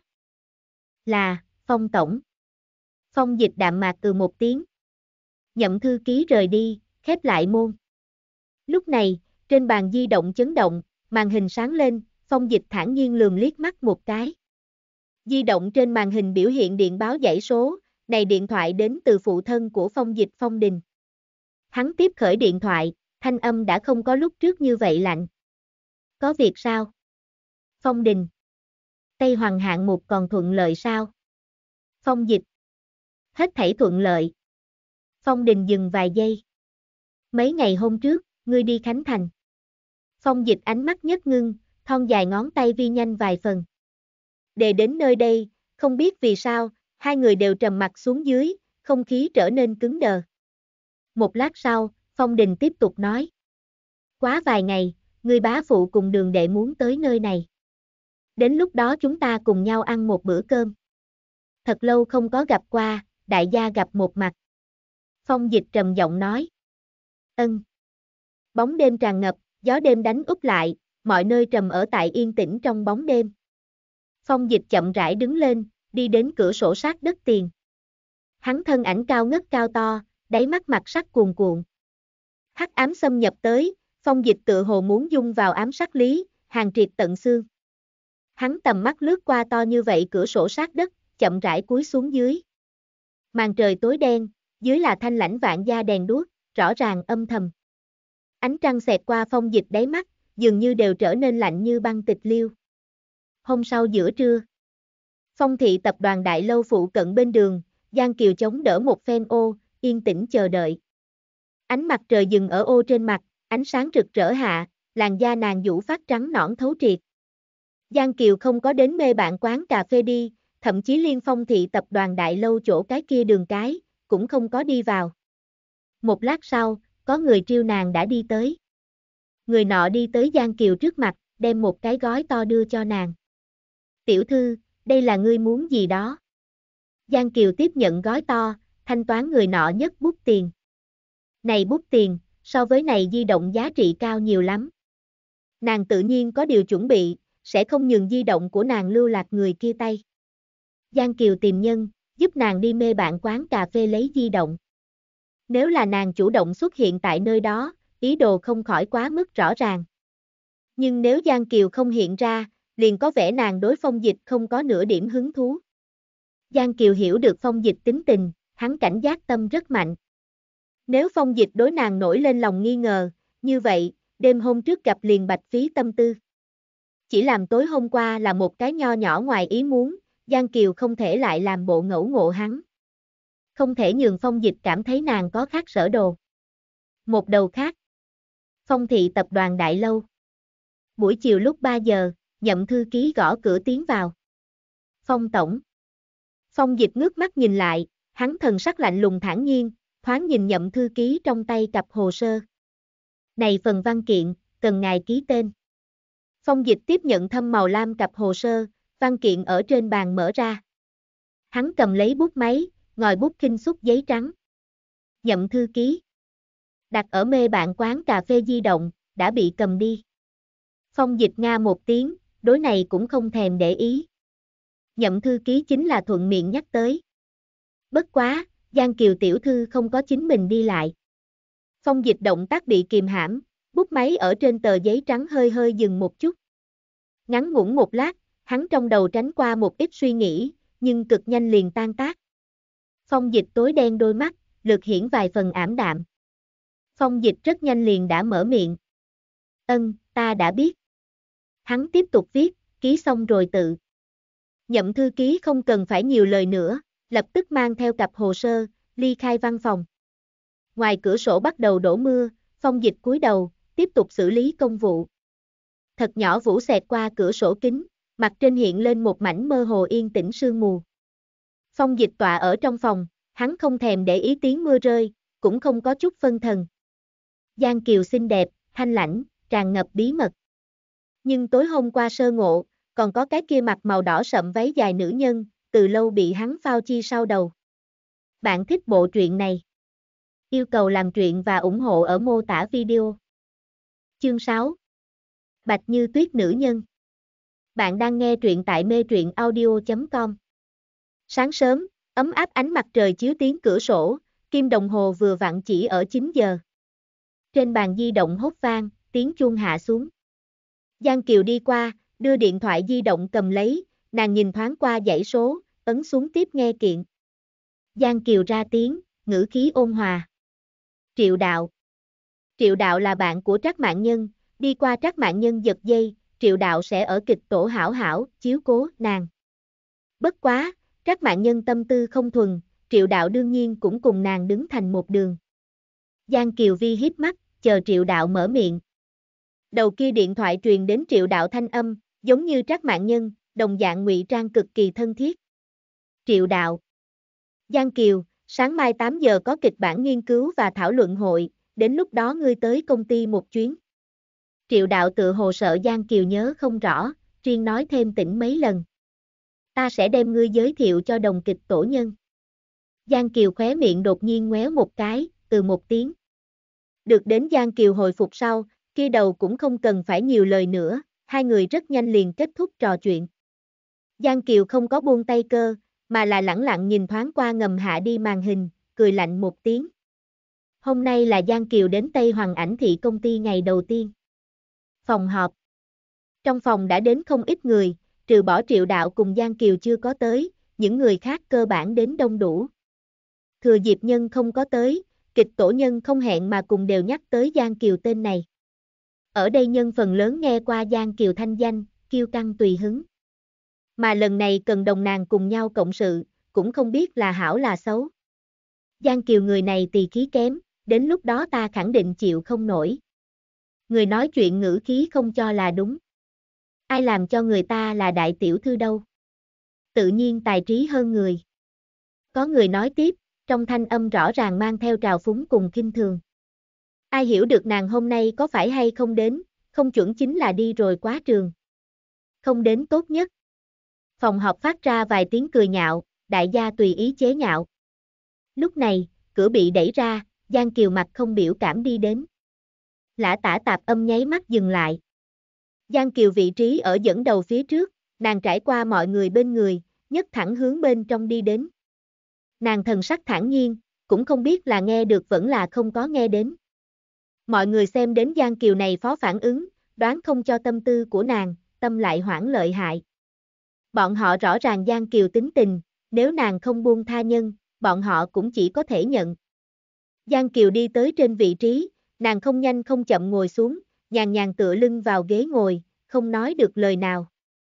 Mà liền là như vậy yên tĩnh tài càng làm cho nhân cảm thấy áp bách, nay Giang Kiều tự hồ cùng nghe đồn trung có chút bất đồng.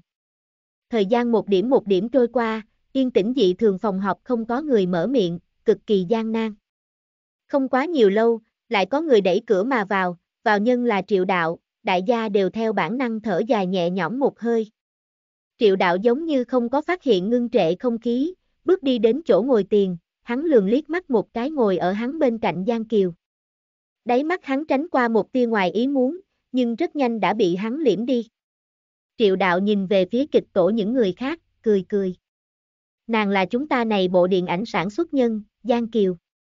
Đại gia là lần đầu tiên cộng sự, bất quá, ta hy vọng các ngươi có thể mau chóng quen thuộc đứng lên. Nghe được triệu đạo trong lời nói, phòng học đầu tiên là yên tĩnh vài giây, lập tức có người lục tục cùng Giang Kiều chào hỏi. Giang Kiều không có mở miệng, thân mình theo trên lưng ghế dựa rời đi, vẻ mặt miễn cưỡng địa điểm cái đầu. Hội nghị không có khai rất thời gian dài, đợi đến kết thúc thời điểm, đại gia rất nhanh ly khai phòng họp. So với những người khác, Giang Kiều ngược lại là tối thanh thản cái kia. Mà này ở sau lưng nghị luận qua nàng nhân, trước khi đi như trước đi lên cùng Giang Kiều đánh thanh tiếp đón, bọn họ rõ ràng trên mặt mang theo ý cười, cũng không cập đáy mắt. Giang Kiều không vạch trần, cũng không tưởng để ý tới những người này hư tình giả ý. Đợi cho mọi người tán đi sau, Giang Kiều đi một chuyến toilet. Vòi rồng thủy ào ào chảy, xuyên qua Giang Kiều ngón tay, hơi hơi thấm mát. Bồn rửa tay ở bên ngoài, toilet muốn đi đường vòng đi vào, người ở bên trong tự nhiên xem không thấy bên ngoài có hay không nhân ở. Giang Kiều một mặt rửa tay, một mặt nghe cách Giang truyền đến thanh âm, kia hai người trao đổi trung thường thường nhắc tới tên của nàng. Vừa rồi chúng ta nói trong lời nói có phải hay không bị Giang Kiều nghe thấy. Nói chuyện là mới vừa rồi ở phòng họp một cái nhân viên công tác, nàng thanh âm mang theo một tia sốt ruột. Trong toilet còn có một người, nàng đáp lời. Ngươi gấp cái gì, đại gia lại chưa nói sai. Bên ngoài nhân đều biết đến Giang Kiều là cái gì tính tình, chúng ta chính là tình hình thực tế nói chuyện. Vừa rồi Giang Kiều ở phòng học gặp qua hai người này, nhớ được tên của các nàng. Vừa mới bắt đầu nói chuyện kêu Tôn Lan, sau một người tên là Lâm Chi Vi. Giang Kiều tắt đi vòi rồng, tiếng nước dừng lại, nhưng nàng không có lập tức rời đi. Nàng ngẩng đầu, trong gương chiếu ra mặt nàng. Thần sắc thản nhiên, không chút để ý. Trong toilet đối thoại như trước còn đang tiến hành, Giang Kiều cùng các nàng chỉ có nhất cường chi cách, các nàng lại không biết chính mình tiếng nói chuyện nhất tự không rơi lọt vào Giang Kiều trong tai. Giang Kiều lại thế nào không tốt, cũng là Giang gia đại tiểu thư. Ra tiếng nhân là Tôn Lan. Lâm Chi Vi ngữ khí mang theo kinh thị. Nàng trừ bỏ bối cảnh, còn có kia khuôn mặt, cũng không có khác xuất sắc địa phương. Lâm Chi Vi trong lời nói trung lộ vẻ đối Giang Kiều kinh thường, lại mang theo rõ ràng ghen tị. Nghe được các nàng trong lời nói, Giang Kiều ngược lại cười cười, nàng theo bao trung xuất ra một chi son môi, đối với gương tinh tế hóa. Son môi nhan sắc nồng liệt, Giang Kiều mâu quan đạm mạc. Gương bàn nhu hòa ngọn đèn hạ xuống, chiếu vào Giang Kiều trên mặt, lại trở nên có chút lạnh như băng, giống như ngoại giới hết thảy đều ảnh hưởng không đến nàng cảm xúc. Một lát sau, khi hai người đối thoại đã kết thúc, các nàng theo bên trong đi ra. Các nàng nhìn đến bồn rửa tay Giang Kiều khi, cước bộ bị kìm hãm, sắc mặt nháy mắt trở nên cực kỳ khó coi, cũng không biết nên như thế nào ứng đối trước mắt cảnh tượng. Trong gương, Giang Kiều không chút để ý dương mắt, tầm mắt chống lại kia hai người. Các nàng co quắp bất an, Giang Kiều cực kỳ lạnh nhạt. Giang Kiều vi vi thẳng đứng dậy, dời đi son môi. Kia chi son môi quảng không chút để ý khoát lên trên tay, ánh mắt của nàng thủy chung lạc ở sau người hai người trên người. Nhận thấy được Giang Kiều nhìn qua, Tôn Lan cùng Lâm Chi Vi nhất thời nổi lên rời đi tâm tư. Rõ ràng Giang Kiều chính là thản nhiên lường các nàng liếc mắt một cái, lại cực cụ áp bách. Các nàng còn muốn chạy, Giang Kiều đột nhiên ra tiếng. Đứng lại. Thanh âm không có phập phồng, cũng không mang một tia uy hiếp ý tứ hàm xúc, kia hai người như cũ theo bản năng ngừng cước bộ. Giang Kiều xoay người lại, nhàn nhàn tựa vào bồn rửa tay biên. Lâm trợ lý. Giang Kiều lại mở miệng, Lâm Chi Vi nghe được Giang Kiều kêu nàng, tâm thần rùng mình, không biết làm gì phản ứng. Ta nhớ được từng có một số người bởi vì chính mình sai lầm, kéo dài toàn bộ kịch tổ tiến trình. Giang Kiều hình như là đang nói nhất kiện cực kỳ phổ thông sự tình, nhưng là các nàng biết Giang Kiều trong miệng người kia đúng là Lâm Chi Vi. Lâm Chi Vi sắc mặt trắng nhợt, không có nói tiếp. Giang Kiều lại nói. Ta không hy vọng này bộ điện ảnh sẽ xuất hiện tình huống như vậy. Bằng không dựa theo ta tính tình. Giang Kiều dừng một chút, hốt ngoéo một cái khóe miệng, ý cười lạnh như băng, ta cũng sẽ không nhường người kia tốt hơn. Nghe đồn trung, Giang Kiều tính tình kiêu ngạo, sẽ không lưu nhân tình mặt, nàng hội nói được thì làm được. Lâm Chi Vi lưng cứng đờ, môi giật giật, như trước không dám mở miệng. Sau khi nói xong, Giang Kiều đem tầm mắt theo Lâm Chi khẽ dời đến Tôn Lan trên mặt, thẳng nhiên ngừng vài giây. Theo sau, Giang Kiều lại cười cười, hạ xuống một câu. Hợp tác khoái trá. Giang Kiều không có lại nhìn kia hai người phản ứng, xoay người ly khai toilet. Một chiếc màu đen ô tô đứng ở Tây Hoàng ảnh thị cửa công ty khẩu. Này ngày, Phong thị tập đoàn muốn khảo sát Tây Hoàng ảnh thị công ty đầu tư. Nghe nói Phong dịch sẽ tới, Tổng Giám đốc tự mình đi tiếp nhân. Người này thái độ cung kính. Phong Tổng. Phong dịch trên mặt không mang theo cái gì biểu cảm, ánh mắt lãnh liệt.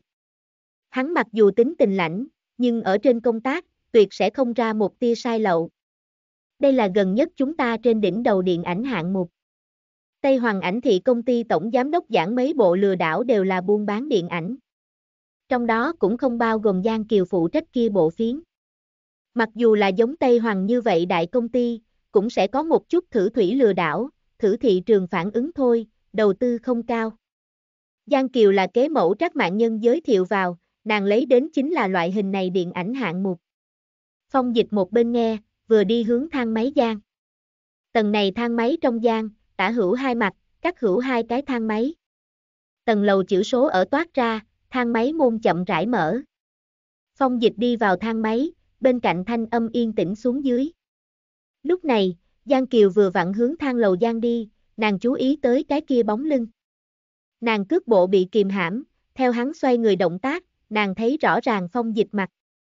Ở trong này gặp được phong dịch là ngoài ý muốn, Giang Kiều lược thêm suy tư, liền có ý tưởng. Môi nàng giác nhất câu, bước chân không vội không hoảng, vào đối diện thang máy. Này bộ thang máy thực không, Giang Kiều đứng ở bên trong. Chỉ cần nàng xoay người, phong dịch có thể thấy nàng. Giang Kiều dừng vài giây, xoay người, phong dịch xuất hiện tại nàng tầm mắt phạm vi. Phong dịch vừa vặn thấy Giang Kiều mặt, ánh mắt hắn tối đen, xem nàng. Môi mỏng không có độ cong, ánh mắt vi tránh. Giang Kiều lường phong dịch liếc mắt một cái, ánh mắt thản nhiên. Bọn họ phân biệt đứng ở đối diện thang máy, hai người tầm mắt chống lại. Nàng thông thả vương tay, trắng muốt cổ tay thượng sạch sẽ, không có dư thừa tân trang. Giang Kiều lấy tay liêu hạ tóc dài, tinh tế ngón tay đem tóc dài đừng ở tại sau tai. Lúc lơ đảng, nàng sườn mặt hoàn toàn lộ xuất ra. Cùng lúc đó, nàng hơi hơi quay đầu đi, dời đi tầm mắt. Giang Kiều không lại xem phong dịch, dường như mới vừa rồi nàng kia thoáng nhìn chính là một cái ngẫu nhiên. Phong dịch bỗng dưng sợ run một giây. Ở hắn vị trí, trùng hợp có thể thấy Giang Kiều sườn mặt, tóc dài đừng ở sau tai. Tóc đen, cầm giác độ công lưu sướng tinh xảo. Khéo léo no đủ vành tai, tuyết trắng xinh đẹp, mặc trên một bộ màu đen khuyên tai. Giang Kiều rõ ràng liền đứng ở nơi đó, nàng hết thảy nhìn như rõ ràng lại minh bạch, nhưng lại cất giấu rất nhiều bí mật. Nàng người này, tự hồ cùng ngoại giới nghe đồn hoàn toàn bất đồng. Bọn họ hai người đứng ở hai bộ trong thang máy, trung gian cách sáng ngời thang máy gian. Bên ngoài người đến người đi, đến đi vội vàng, nhưng trong thang máy tiếng vang nghỉ ngơi. Màu đen phát, màu đen váy, một cái bạch như tuyết nữ nhân. Phong dịch không biết hắn vì sao xem nàng, nghi hoặc tò mò. Vẫn là tìm tòi nghiên cứu. Có lẽ chỉ là vì Giang Kiều đứng ở hắn ánh mắt có thể đạt được chỗ. Nhưng thực ngoài ý muốn, hắn tầm mắt luôn luôn không có rời đi. Cho đến thang máy môn chậm rãi quan thượng. Bạn thích bộ truyện này? Yêu cầu làm truyện và ủng hộ ở mô tả video. Chương 7 Phong dịch chỉ tên muốn gặp nàng. Bạn đang nghe truyện tại mê truyện audio.com. Cửa thang máy khép lại, Giang Kiều rõ ràng, nhìn chăm chú vào nàng kia nói tầm mắt đã tiêu thất. Phong dịch khi nào cùng Tây Hoàng công ty có hợp tác? Chuyện này, Giang Kiều không rõ lắm, nhưng là nàng biết, lại nhiều một cái có thể tiếp xúc hắn cơ hội. Dù sao, ở Giang Kiều không thể xác nhận phong dịch chính là cái kia sát nàng nhân vật phản diện trước kia, nàng sẽ không vội vàng hành động. Nàng hiện tại muốn tìm chính là một thời cơ, thám nhập sinh hoạt của hắn, phát hiện hắn bí mật. Giang Kiều cười cười, ly khai công ty đại lâu, hướng đứng ở ven đường ô tô. Đầu hạ phong, hơi hơi mà dẫn dắt một tia táo. Phong phất qua Giang Kiều trên người màu đen váy dài, mềm mại làn váy phất qua nàng trắng noãn cẳng chân. Giang Kiều ngồi vào trong xe, nhìn nhìn trên di động lịch ngày. Mặt trên đánh dấu hôm nay buổi chiều phải đi Khánh Thành gặp ngô bác sĩ ngày. Lần này gặp mặt là nguyên chủ Giang Kiều hẹn trước, bởi vì gia đình duyên cớ, nguyên chủ tính tình không tốt lắm, ở giáo nhận đến xa lánh. Nàng đã ở Ngô Đại Sơn bác sĩ nơi đó nhận tâm lý cố vấn thật lâu. Này thầy thuốc, làm việc nội danh khí rất lớn, làm người lại thập phần điệu thấp. Mà hôm nay hẹn trước, Giang Kiều không thể thủ tiêu. Nàng muốn làm việc rất đơn giản, chính là không muốn cho ngô bác sĩ đối chính mình khả nghi. Giang Kiều phát động xe, mà ô tô chạy hướng địa phương là Khánh Thành. Giang Kiều cùng Ngô Đại Sơn mặt đối mặt ngồi. Ngô Đại Sơn thanh âm ôn hòa. Giang Kiều, lần này về nước sau, có cái gì ý tưởng sao? Lần này đối thoại dường như chính là một hồi phổ thông tán phím. Giang Kiều tựa lưng vào ghế ngồi, thần thái dày. Trong nhà tìm công tác, ở ảnh thị công ty làm sản xuất. Nàng tùy ý nói xong, tự hồ một điểm cũng không để ở trong lòng. Ngô Đại Sơn lại nói. Tại đây cái ngành nghề, tiếp xúc nhân đều sẽ tương đối phức tạp. Giang Kiều nhìn thoáng qua Ngô Đại Sơn, hốt nở nụ cười. Từ nhỏ đến lớn, ta tiếp xúc nhân tự hồ đều thực phức tạp. Nàng lơ đãng nói, trong lời nói mang theo thâm ý, trong nhà nàng tình huống, bác sĩ rõ ràng thật sự. Ngô Đại Sơn sợ run một chút, nhìn đến Giang Kiều biểu cảm. Giang Kiều thần sắc lạnh nhạt, nhắc tới trong nhà sự tình thời điểm, cũng không có dĩ vãng không kiên nhẫn. Giang Kiều xuất ngoại vài năm, chỉ muốn về nước đều sẽ đồng Ngô Đại Sơn gặp mặt. Mà thời gian lâu, trải qua hơn, nhưng cũng sẽ tùy theo thay đổi. Ngô Đại Sơn mở miệng. Giang Kiều, ngươi có chút thay đổi. Nghe được Ngô Đại Sơn vấn đề, Giang Kiều cũng không trả lời ngay, mà là hỏi lại. Ngô bác sĩ, ngươi cảm thấy ta nơi nào thay đổi? Ngô Đại Sơn cười cười. Tư tưởng khai sáng rất nhiều. Rất nhiều chuyện, nếu không lại so đo, sinh hoạt của ngươi cũng sẽ hướng hảo phương diện phát triển. Phải không? Giang Kiều nói, ta nhớ được ngô bác sĩ giảng qua, tâm lý cố vấn, đơn giản chính là tán gẫu thôi. Dừng một chút, Giang Kiều mới nói, lại ngữ hàm thâm ý, có lẽ ta chính là trở nên hội tán gẫu. Giang Kiều chiến thuật tâm lý thực thành công. Ngô Đại Sơn không có phát hiện, trước mắt Giang Kiều đã hoàn toàn biến thành một cá nhân. Nói chuyện vừa khéo kết thúc, đặt ở bàn sườn di động bỗng nhiên bắt đầu chấn động, màn hình sáng lên. Giang Kiều theo bản năng đem tầm mắt đặt ở mặt trên, trên màn hình số điện thoại di động vẫn chưa đánh dấu. Nhưng ngô bác sĩ tự hồ biết đầu kia điện thoại nhân là ai, hắn đồng Giang Kiều nói một tiếng thật có lỗi, cầm lấy di động, theo trên vị trí đứng dậy. Giang Kiều cũng lập tức đưa ra cáo từ, vừa rồi ngắn ngủn vài giây, nàng đã đem kia xuyến số điện thoại di động ghi tạc trong lòng. Nàng cảm giác cái kia dãy số có chút quen thuộc, lại nghĩ không ra ở nơi nào gặp qua. Giang Kiều ly khai Khánh Thành, xe chậm rãi hướng tới mặt thành chạy tới. Đầu hạ ánh nắng nhợt nhạt, ấm áp ánh mặt trời hạ xuống, ấm áp phập phồng. Giang Kiều ngồi ở trong xe, tầm mắt thủy chung nhìn chăm chú vào tiền phương, mày hơi hơi nhíu lại. Nàng không hiểu đem sự tình hôm nay cùng một người liên hệ đứng lên. Giang Kiều nhớ được, trong sách đề cập qua phong dịch hàng tháng đều sẽ đi Khánh Thành, nhưng là vẫn chưa đề cập nguyên nhân. Mà vừa rồi đánh cấp Ngô Đại Sơn điện thoại không có ghi chú. Bất quá, căn cứ Ngô Đại Sơn vẽ mặt, này điện thoại với hắn mà nói, tự hồ rất trọng yếu. Không biết vì sao, Giang Kiều trong đầu đột nhiên hiện ra phong dịch mặt. Đến mặt thành sau, Giang Kiều cũng không có lập tức về nhà, mà là tìm một chỗ dừng xe. Nàng quyết định dùng công cộng điện thoại thông qua này dãy số. Giang Kiều đi vào buồng điện thoại, ánh mặt trời chiếc xạ ở trên thủy tinh, thoáng chói mắt. Giang Kiều khép lại môn, bên ngoài tiếng vang tự hồ trở nên xa xôi. Giang Kiều thông qua kia xuyến thuộc nhớ cho tâm dãy số, nàng đầu ngón tay phúc ở ấn phím thượng, động tác không nhanh không chậm, ống nghe dán tại nàng bên tai.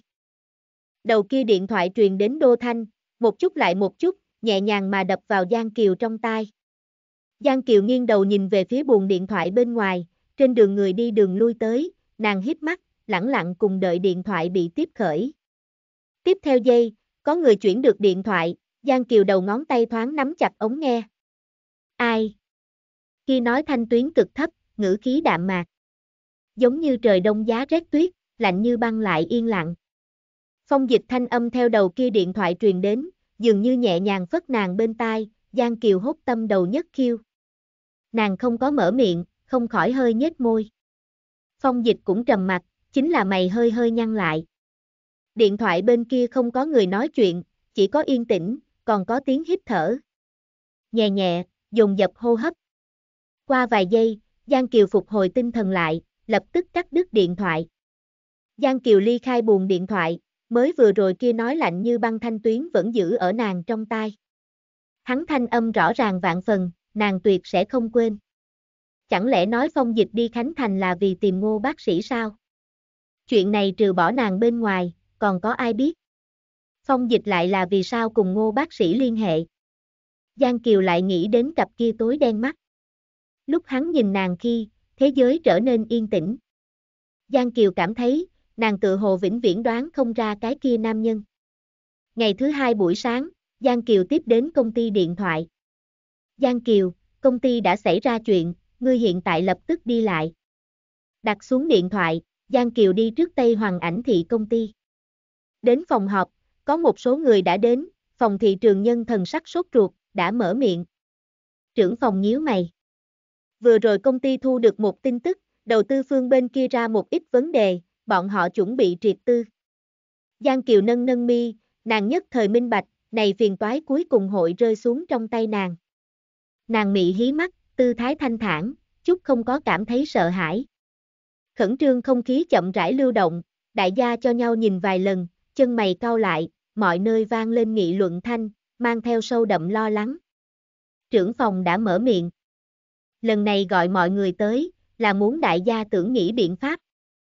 Lúc này, triệu đạo di động vang, hắn ly khai phòng họp. Đi đến bên ngoài, hắn tiếp khởi điện thoại, điện thoại là Trác Mạng Nhân đánh tới. Trác Mạng Nhân.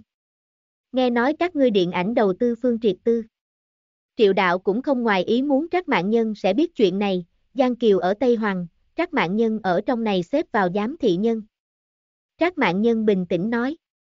Giang Kiều là điện ảnh sản xuất nhân, đầu tư đã xảy ra vấn đề, nàng tổng yếu làm chút cái gì?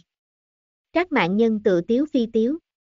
Nàng tổng không thể chỉ chịu trách nhiệm một cái hư danh đi. Triệu đạo đôi mắt căng thẳng, hắn biết các Mạng Nhân ý tứ, nàng muốn cho Giang Kiều đến kéo đầu tư, khó xử Giang Kiều. Triệu đạo có chút chần chờ, hắn rõ ràng Giang Kiều bản sự, ngoại giới đều truyền nàng vì bao cỏ mỹ nhân. Nếu nhường Giang Kiều đến kéo đầu tư, một tuần nội nàng khẳng định làm không được, đến lúc đó điện ảnh chụp không xong, công ty sẽ có rất lớn tổn thất. Các mạng nhân thanh âm nhất thời lạnh xuống dưới. Thế nào? Ngươi thu ta nhiều như vậy ưu việt, liên điểm ấy việc nhỏ đều làm không được. Triệu đạo nắm điện thoại kiết vài phần. Các mạng nhân ngữ điệu càng thêm lạnh. Ta nói lại lần nữa, ngươi đi dẫn đường đại gia, thuyết phục bọn họ nhường Giang Kiều đến phụ trách chuyện này. Triệu đạo sắc mặt cực kỳ khó coi. Lúc này, các mạng nhân ngữ khí hơi chút chậm lại chút. Một tuần nội, nếu Giang Kiều không có kéo đến đầu tư, Giang Thị tập đoàn hội đầu tư này bộ điện ảnh. Nàng làm như vậy, chỉ có một mục đích, chính là nhường Giang Kiều nan kham. Huống hồ, điểm ấy đầu tư tiền, nàng cũng không có để vào mắt. Triệu đạo cảm thấy buông lỏng. Là. Triệu đạo treo điện thoại, trở lại phòng họp. Hắn tìm một cái lấy cớ. Vừa rồi ta liên hệ các đầu tư phương, vẫn là không có cách nào. Mọi người thần sắc càng thêm sốt ruột. Triệu đạo hốt quay đầu, nhìn Giang Kiều liếc mắt một cái. Giang Kiều, ngươi là này bộ điện ảnh sản xuất nhân, lần đầu tiên làm chuyện này, khẳng định hội ngộ đến một ít khó khăn. Hắn trong lời nói ý vị thâm trường, phòng họp những người khác nhất thời rõ ràng ý tứ của hắn. Một người đáp lời. Ngươi là Giang Thị tập đoàn đại tiểu thư, nói vậy cực có người mạch, ngươi tới phụ trách chuyện này thích hợp nhất. Một người khác châm chọc nói. Y Giang tiểu thư bản sự, tìm cái đầu tư phương mà thôi, đối với ngươi mà nói nhất định không phải kiện việc khó. Những người khác mặc dù không nói chuyện, nhưng đều cam chịu việc này. Nghe vậy, Giang Kiều chậm rãi dương mắt, thần sắc không có một tia dao động. Giang Kiều không chút để ý dựa vào ở nơi đó, thản nhiên lường đi qua, lạnh như băng ánh mắt đảo qua bọn họ. Khóe miệng nàng phù cực thiển châm chọc chi ý, tuy rằng nàng còn không nói chuyện, nhưng thần sắc cũng là lãnh. Này bộ điện ảnh sản xuất nhân có hai cái, một cái là Giang Kiều, một cái khác là Trương sản xuất. Trương sản xuất trầm mặt xem, luôn luôn không nói gì. Trong lòng hắn rõ ràng, hiện tại thời gian khẩn cấp, kéo đến đầu tư không phải kiện dễ dàng chuyện. Hiện tại đại gia rõ ràng muốn cho Giang Kiều làm chuyện này, hắn tự nhiên sẽ không thẳng này giao du với kẻ xấu. Những người đó còn tại tiếp tục giảng, ngụ ý là ở bức bách Giang Kiều ứng hạ chuyện này, thái độ cực kỳ cường ngạnh. Giang Kiều khóe miệng mang theo một tia dày ý cười, đáy mắt lại càng thêm trầm. Giang Kiều cười lạnh một tiếng, nàng đang muốn mở miệng. Lúc này, phòng họp cửa mở, đi một mình tiến vào, thanh âm mang theo vui sướng. Phong thị tập đoàn kỳ hạ ảnh thị công ty có đầu tư ý đồ. Mọi người tâm hơi hơi buông lỏng, đáy mắt tránh qua một tia sắc mặt vui mừng. Triệu đạo xem người nọ, hỏi. Thật sự. Người nọ dừng vài giây. Nhưng là, bọn họ cũng không có xác định. Phong thị tập đoàn truyền lời người phụ trách cũng không có minh xác biểu lộ muốn cùng hắn nhóm hợp tác, dường như còn tại lo lắng trung. Trương sản xuất lập tức đứng lên. Đầu tư nhân là ai? Ta lập tức đi qua cùng hắn đàm. Người nọ lắc đầu. Đầu tư nhân hẳn là phong thị tập đoàn một cái cao tầng, bên kia cũng không có lộ ra tên. Người nọ nói chuyện, tầm mắt tắt rơi xuống Giang Kiều trên người. Giang Kiều ngồi ở chỗ kia, cụp xuống đầu, từ đầu tới cuối không có nói qua một câu. Nhớ tới phong thị tập đoàn người phụ trách nói trong lời nói, hắn ánh mắt vi thâm, sau đó đã mở miệng, thanh âm rõ ràng cực kỳ. Đầu tư nhân có một yêu cầu. Người nọ nhìn Giang Kiều, gằn từng chữ, hắn chỉ tên muốn Giang Kiều tiểu thư đi qua đàm. Giọng nói hạ xuống, cắt qua ứ động yên tĩnh, không khí càng thêm tĩnh. Hắn trong lời nói lọt vào mỗi người trong tai, tất cả mọi người chợt ngẩn ra. Ánh mắt của bọn họ nhìn về phía Giang Kiều, khiếp sợ cực kỳ. Phòng họp một đầu khác, ánh sáng nhẹ nhẹ. Giang Kiều như trước vẻ mặt nhàn tản, thần sắc không lạnh không nhạt, nàng thậm chí đều không có xem bọn hắn liếc mắt một cái. Giang Kiều dày dựa vào ở nơi đó, tươi cười nhạt nhẽo đến cực điểm, lộ ra châm chọc. Lúc này, Giang Kiều ý niệm vừa chuyển, phong thị tập đoàn, nặc danh cao tầng, chỉ tên muốn nàng đi qua. Nàng hốt ngoéo một cái môi. Bạn thích bộ truyện này? Yêu cầu làm truyện và ủng hộ ở mô tả video. Chương 8 Giải khai hắn dây lưng khấu. Bạn đang nghe truyện tại mê truyện audio.com. Tầm mắt mọi người đều đầu hướng Giang Kiều, nhưng nàng không trả lời. Những người đó cũng không nói chuyện, Giang Kiều trầm mặt bao lâu, trong phòng liền yên tĩnh bao lâu. Giang Kiều tâm tư không ở trong này, nàng nghĩ tới cái kia nam nhân, phong dịch. Hắn giống trời đông giá rét băng dường như, còn có kia nói trong điện thoại nghe tới yên tĩnh lạnh như băng thanh âm. Dạng người gì có thể hóa giải như vậy lạnh như băng? Giang Kiều không biết. Nhưng là, nàng có muốn hiểu biết hắn dục vọng. Loại này dục vọng chính là ở trong lòng nàng đốt một điểm nho nhỏ hỏa. Trước mắt xem ra, bất cứ sự tình gì đều so ra kém Giang Kiều thay đổi chính mình kết cục, tới trọng yếu. Giang Kiều Trưởng phòng đã mở miệng, ngươi là này bộ điện ảnh sản xuất nhân. Giang Kiều rất nhanh thu hồi suy nghĩ, thản nhiên quét hắn liếc mắt một cái. Ánh mắt của nàng trung mang theo một tia run sợ, thanh tuyến lại bình tĩnh cực kỳ. Lần này gặp mặt, ta sẽ đi. Giang Kiều thanh âm hạ xuống, khua vỡ mới vừa có chút xấu hổ yên tĩnh, ngưng trệ không khí cũng phút chốc tùng hoảng xuống dưới. Tất cả mọi người thở dài nhẹ nhõm một hơi. Bọn họ lúc trước tận lực làm khó dễ Giang Kiều, cũng không nghĩ tới sẽ phát sinh chuyện như vậy. Nếu Giang Kiều náo loạn tính tình, không đi cùng phong thị tập đoàn cao tầng gặp mặt, này bộ điện ảnh tài chính liên sẽ đoạn điệu, bọn họ vừa muốn một lần nữa lâm vào khốn cảnh trung. Giang Kiều đứng lên, hướng tới ngoài cửa đi rồi đi qua. Những người đó cổ quái thần sắc, đều bị Giang Kiều xem ở tại trong mắt, nhưng là, bọn họ trong lòng nghĩ như thế nào, nàng không xen vào, cũng không tưởng quản. Giang Kiều nhận vì chuyện trọng yếu chính là, nàng rất nhanh sẽ đi phong thị tập đoàn Đại Lâu, nhìn thấy cái kia nàng ý đồ đi giải nam nhân. Phong thị tập đoàn Đại Lâu Giang Kiều đứng ở thang máy trung, tầng lầu chữ số ở bay lên, nàng suy tư về. Vì sao phong dịch hội chỉ tên nhường nàng đi lại? Chẳng lẽ hắn đoán được ngày hôm qua kia gọi điện thoại có cổ quái? Nghi hoặc phù thượng trong lòng, nhưng Giang Kiều quyết định thập phần minh xác. Vô luận như thế nào, nàng nhất định phải nhìn thấy phong dịch. Nếu buông tha cho lúc này đây cơ hội, không biết còn phải đợi tới khi nào. Lúc này, cửa thang máy mở.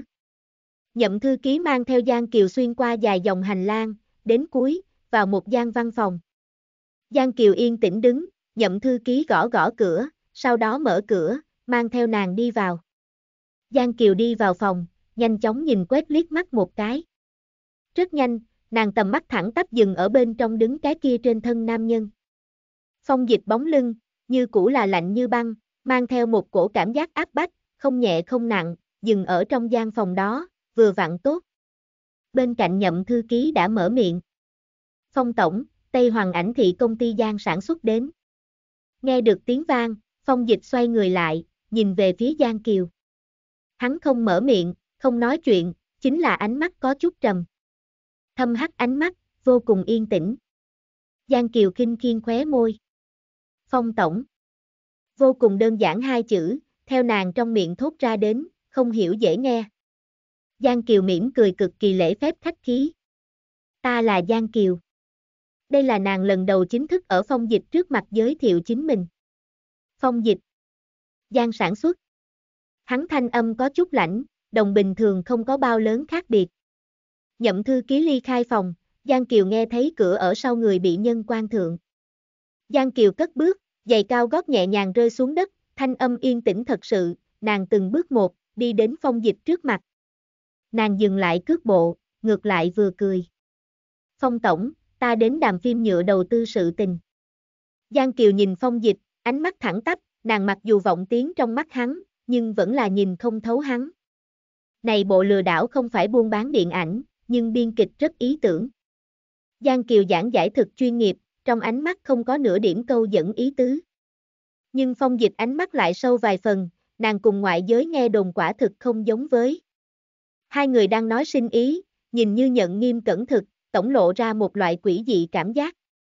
Đến nói chuyện sắp kết thúc thời điểm, Giang Kiều câu chuyện vừa chuyển. Có thể mạo muội hỏi một câu, Phong Tổng vì sao hội bảo ta đi lại sao? Ở phong thị đầu tư Tây Hoàng ảnh thị sau, ta chú ý tới Giang sản xuất.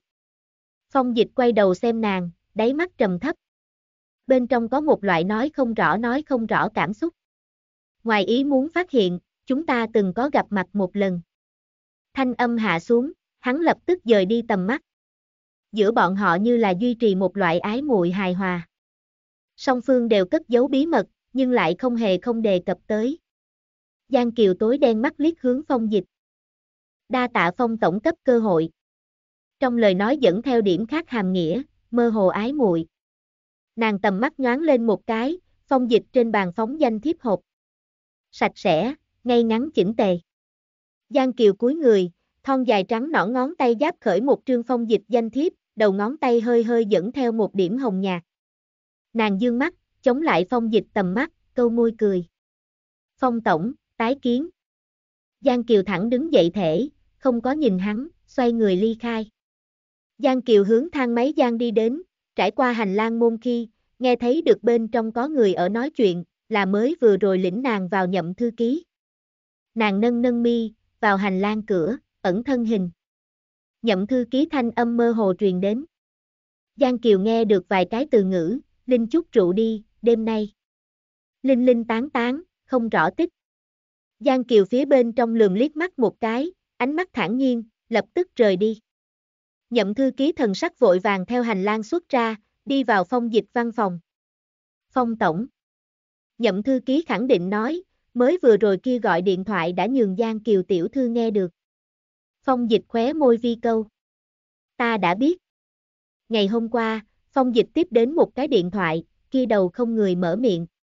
Hắn truy ra đến kia gọi điện thoại, là từ mặt thành một cái công cộng buồn điện thoại đánh tới được.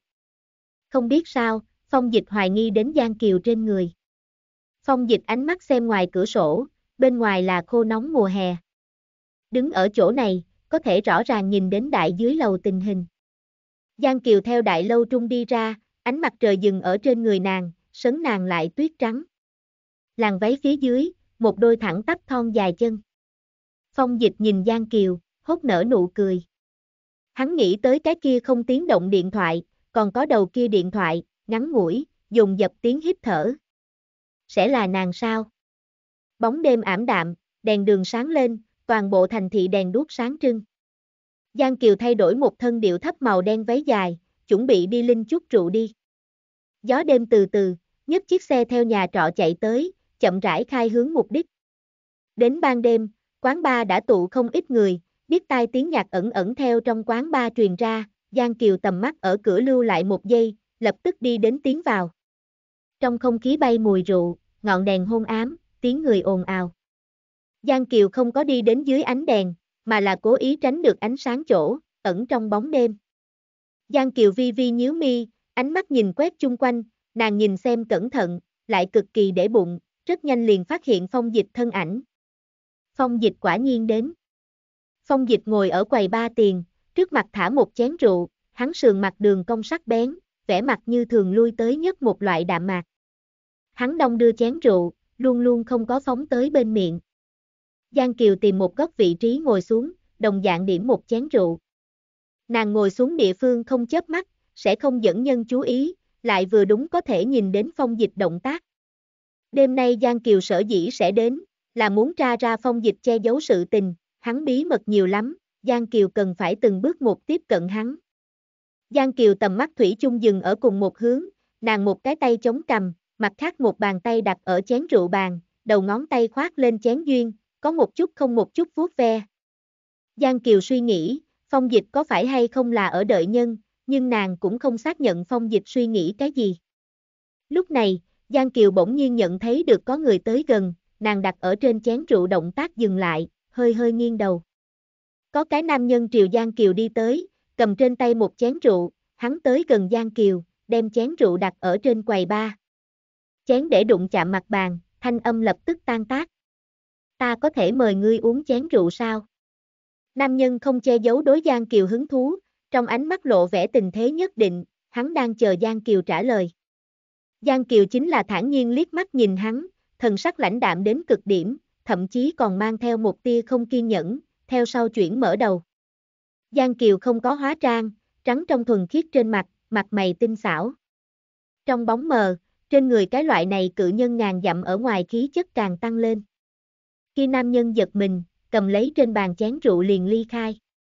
Phong dịch nghiêng người hướng sông Kiều, mà hắn dư quan nhưng vẫn lưu ý Giang Kiều phương hướng, ở Giang Kiều vào kia trong nháy mắt, hắn liền lập tức đã nhận ra.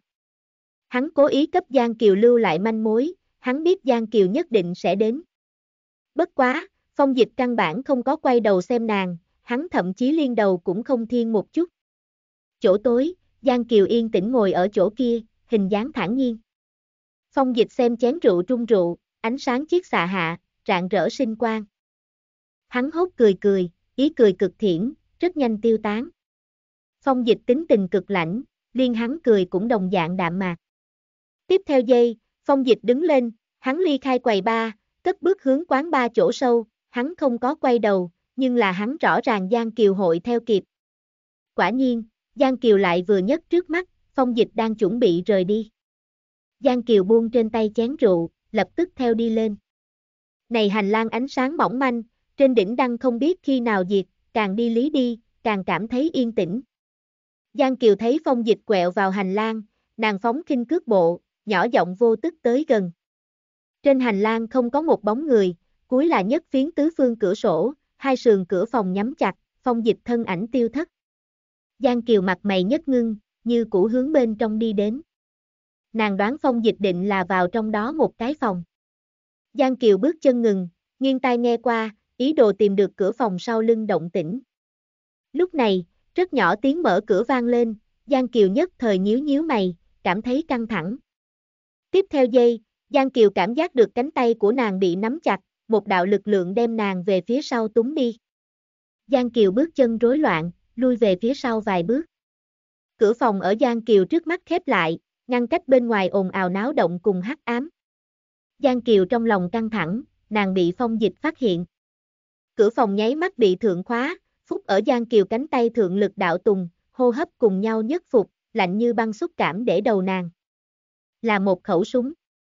Giang Kiều rõ ràng phía sau nhân đúng là nàng muốn tìm phong dịch, mà phong dịch định là nhận thấy được có người theo dõi, cho nên đề cao cảnh giác. Giang Kiều đưa lưng về phía phong dịch, nàng tầm mắt thản nhiên thoáng nhìn, lập tức làm ra quyết định. Giang Kiều vươn tay, tuyết trắng trắng noãn cổ tay nắm giữ phong dịch cổ tay, nàng đầu ngón tay lạnh như băng độ ấm bò lên hắn nóng trực thân thể. Nương phong dịch lực lượng, nàng sau này tới sát, hai người tư thế nháy mắt quay lại. Phong dịch lưng dán cửa phòng, Giang Kiều cả người đều dựa vào vào hắn trong lòng, xa lạ lại ấm áp nam tính hơi thở tập đi lại. Hai người thân thể, nghiêm mật dán hợp, cơ hồ không có khe hở. Giang Kiều hô hấp tới gần, phong dịch nhận thấy được kia cụ mềm mại thân thể ở trong lòng hắn trung, hắn mạnh cứng đờ, mượn cơ hội này, nàng đưa hắn chế ở tại trên tường. Giang Kiều thừa dịp phong dịch động tác chịu hạn, đánh rớt trong tay hắn thương. Thương rơi xuống ở, Giang Kiều phân biệt ra rơi xuống vị trí, lưng bàn chân nhất câu, đem thương đá xa. Giang Kiều khuỷu tay nhất loan, về phía sau đánh đi, phong dịch nhận thấy được Giang Kiều ý đồ, nghiêng người nhất tránh, Giang Kiều lại ra tay đánh trả. Tiếng nhất lui, chợt lóe nhất tránh, hai người giao thủ, vật liệu may mặc ma sát thanh lã chả, nam nhân thân thể cùng nữ nhân da thịt, trong bóng đêm, nồng liệt ái muội. Giang Kiều nhân cơ hội rời xa phong dịch, nàng tóc dài dương lên, phát sao đảo qua phong dịch mặt, tê dại xúc cảm, mang theo một tia thản nhiên hoa hồng hương. Nhẹ nhẹ mùi hoa phất qua hắn mũi, là cái cô gái này trên người hương vị. Phong dịch ánh mắt nhíu lại, hắn không có dự đoán được, Giang gia đại tiểu thư nhưng lại sẽ có tốt như vậy thân thủ. Trong bóng đêm, phong dịch mặt mày lãnh liệt, hắn vươn tay kéo lại Giang Kiều cánh tay, hướng chính mình phương hướng dùng sức lôi kéo. Giang Kiều bị bắt chàng tiếng phong dịch trong lòng.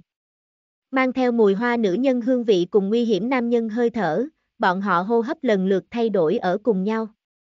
Nhân bốc đồng, phong dịch lui về phía sau một bước, gót chân chạm đến đến phía sau sofa, hắn thân mình nhất khuynh, về phía sau đổ đi.